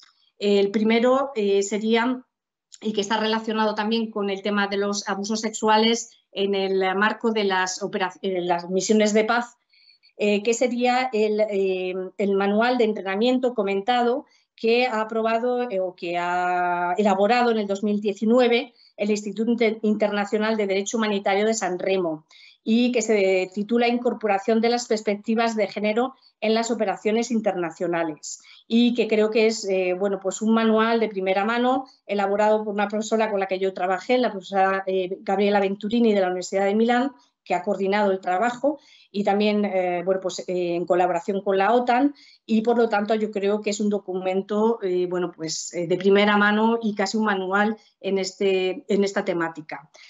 también, por supuesto, mencionar eh, varios informes eh, adoptados eh, o elaborados por el secretario general de las Naciones Unidas en el 2019 sobre niños y conflictos armados, mujeres, paz y seguridad y también en sentido sobre los abusos sexuales en el, en el ámbito de las operaciones de paz, pues otro documento del 2019 sobre medidas especiales de protección.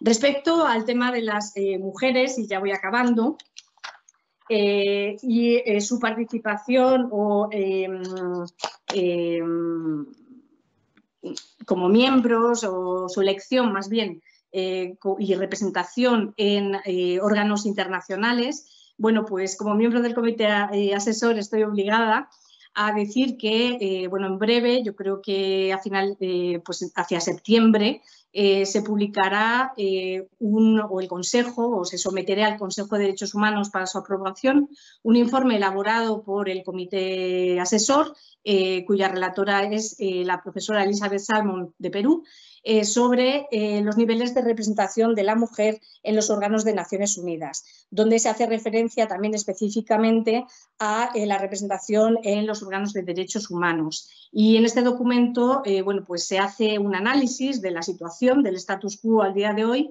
y también bueno, pues se hace un análisis de las mejores prácticas, digamos, en este sentido, y finalmente se hace toda una serie de propuestas eh, principalmente también de procedimientos, o se pide a los estados que adopten procedimientos eh, para eh, mejorar, digamos, la representación de las mujeres y también protocolos para, para, en este sentido, para llegar a la paridad, digamos. bueno, finalmente, ya para acabar, creo que estas son, digamos, grosso modo, las ideas transversales que me van a dar, me van a llevar a elaborar estas, las conclusiones eh, finales. Como ya se ha mencionado, eh, bueno, pues en ellas eh, las dirigiremos a las autoridades públicas, indicaremos organismos competentes, identificaremos lagunas, propondremos dentro de la medida posible acciones, temas o políticas y bueno, pues espero también que este seminario pues, sea el inicio de muchas otras actividades, proyectos o iniciativas eh, que puedan desarrollarse sobre este tema. Y quedo, por tanto, a la disposición de todos ustedes para cualquier sugerencia o idea que consideren importante incluir en este relevante documento final. Eh, bueno, sin más, muchas gracias y un saludo a todos.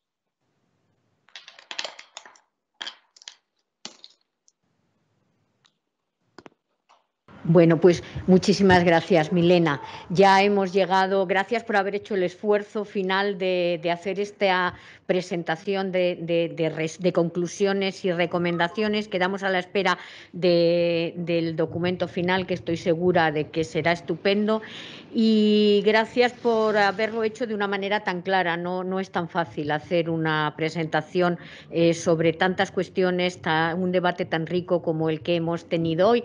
Y sin más, solamente puedo decirte que espero que la próxima vez podamos tenerte con nosotros y no a tantos kilómetros de distancia, a ver si los suizos de una vez deciden reducir, eh, bajar el, nivel de, requisitos eh, para, para los viajes y para otra serie de cuestiones y nos facilitan también la vida. Bueno, eh, esto era una broma. ¿eh? ¿eh? yo creo que hemos llegado ya al final de la, de la tarde, de la sesión. Eh, creo realmente que ha sido un día muy largo, que todos estamos ya cansados, pero no me resisto a que antes de, despedirles a todos pueda intervenir, aunque sea brevemente. Él se resistía, pero, pero no estoy dispuesta a que sea así, que pueda intervenir brevemente Joaquín López.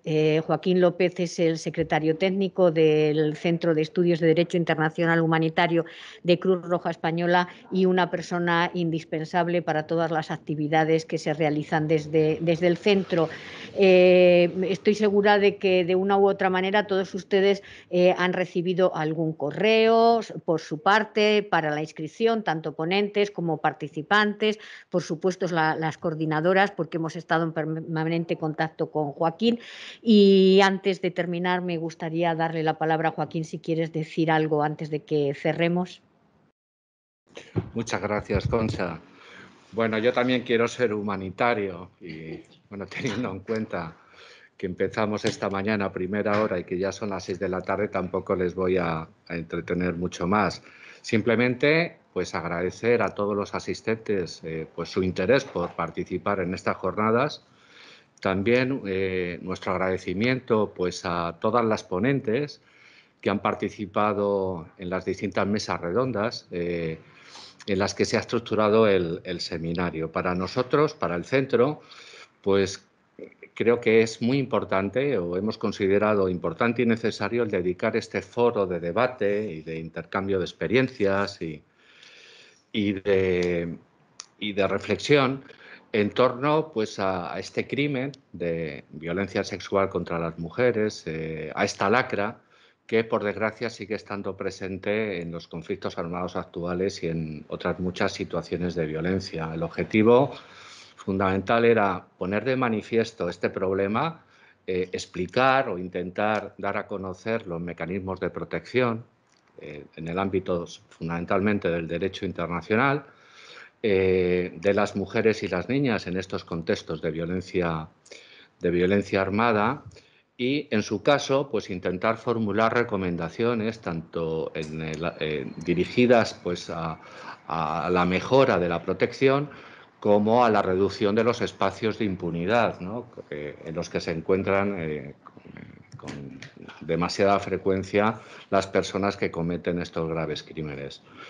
Nada más, simplemente comentarles eh, que eh, después de este, este, seminario está siendo grabado, eh, vamos a poner el vídeo a disposición de, todos ustedes, lo colgaremos en la página web de Cruz Roja y también que finalmente queremos elaborar un documento de conclusiones y recomendaciones que también pondremos a disposición de todos los los asistentes y, por supuesto, que también será enviado al Ministerio de Asuntos Exteriores. Bueno, muchas gracias.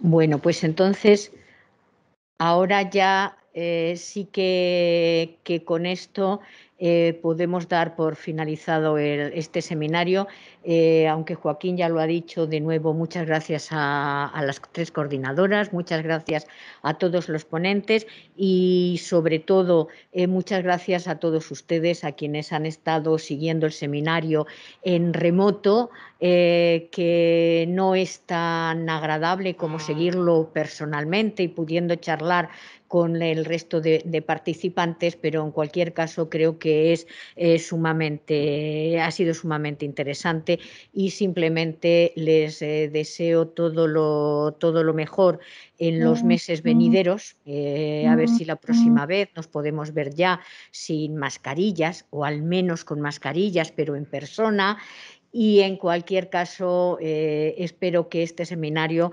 aparte del interés que ya tuvieran ustedes por estas cuestiones, les haya llevado a reflexionar un poco más sobre un fenómeno que desgraciadamente está presente en la sociedad internacional, está presente en nuestras sociedades nacionales y que eh, creo que se debería de intentar por todos los medios hacerlo desaparecer, lo cual me parece que, que no es totalmente posible. Yo no soy muy optimista, pero en cualquier caso sí que es necesario ir reduciendo cada vez más el ámbito de, e, el margen de, acción que queda para la violencia sexual contra las mujeres y niñas en el marco de los conflictos armados y también de paso eh, otras formas de violencia sexual también contra los hombres y, y, los niños. Nada más que tengan una muy buena tarde y gracias por la atención que han dedicado al seminario. Hasta pronto.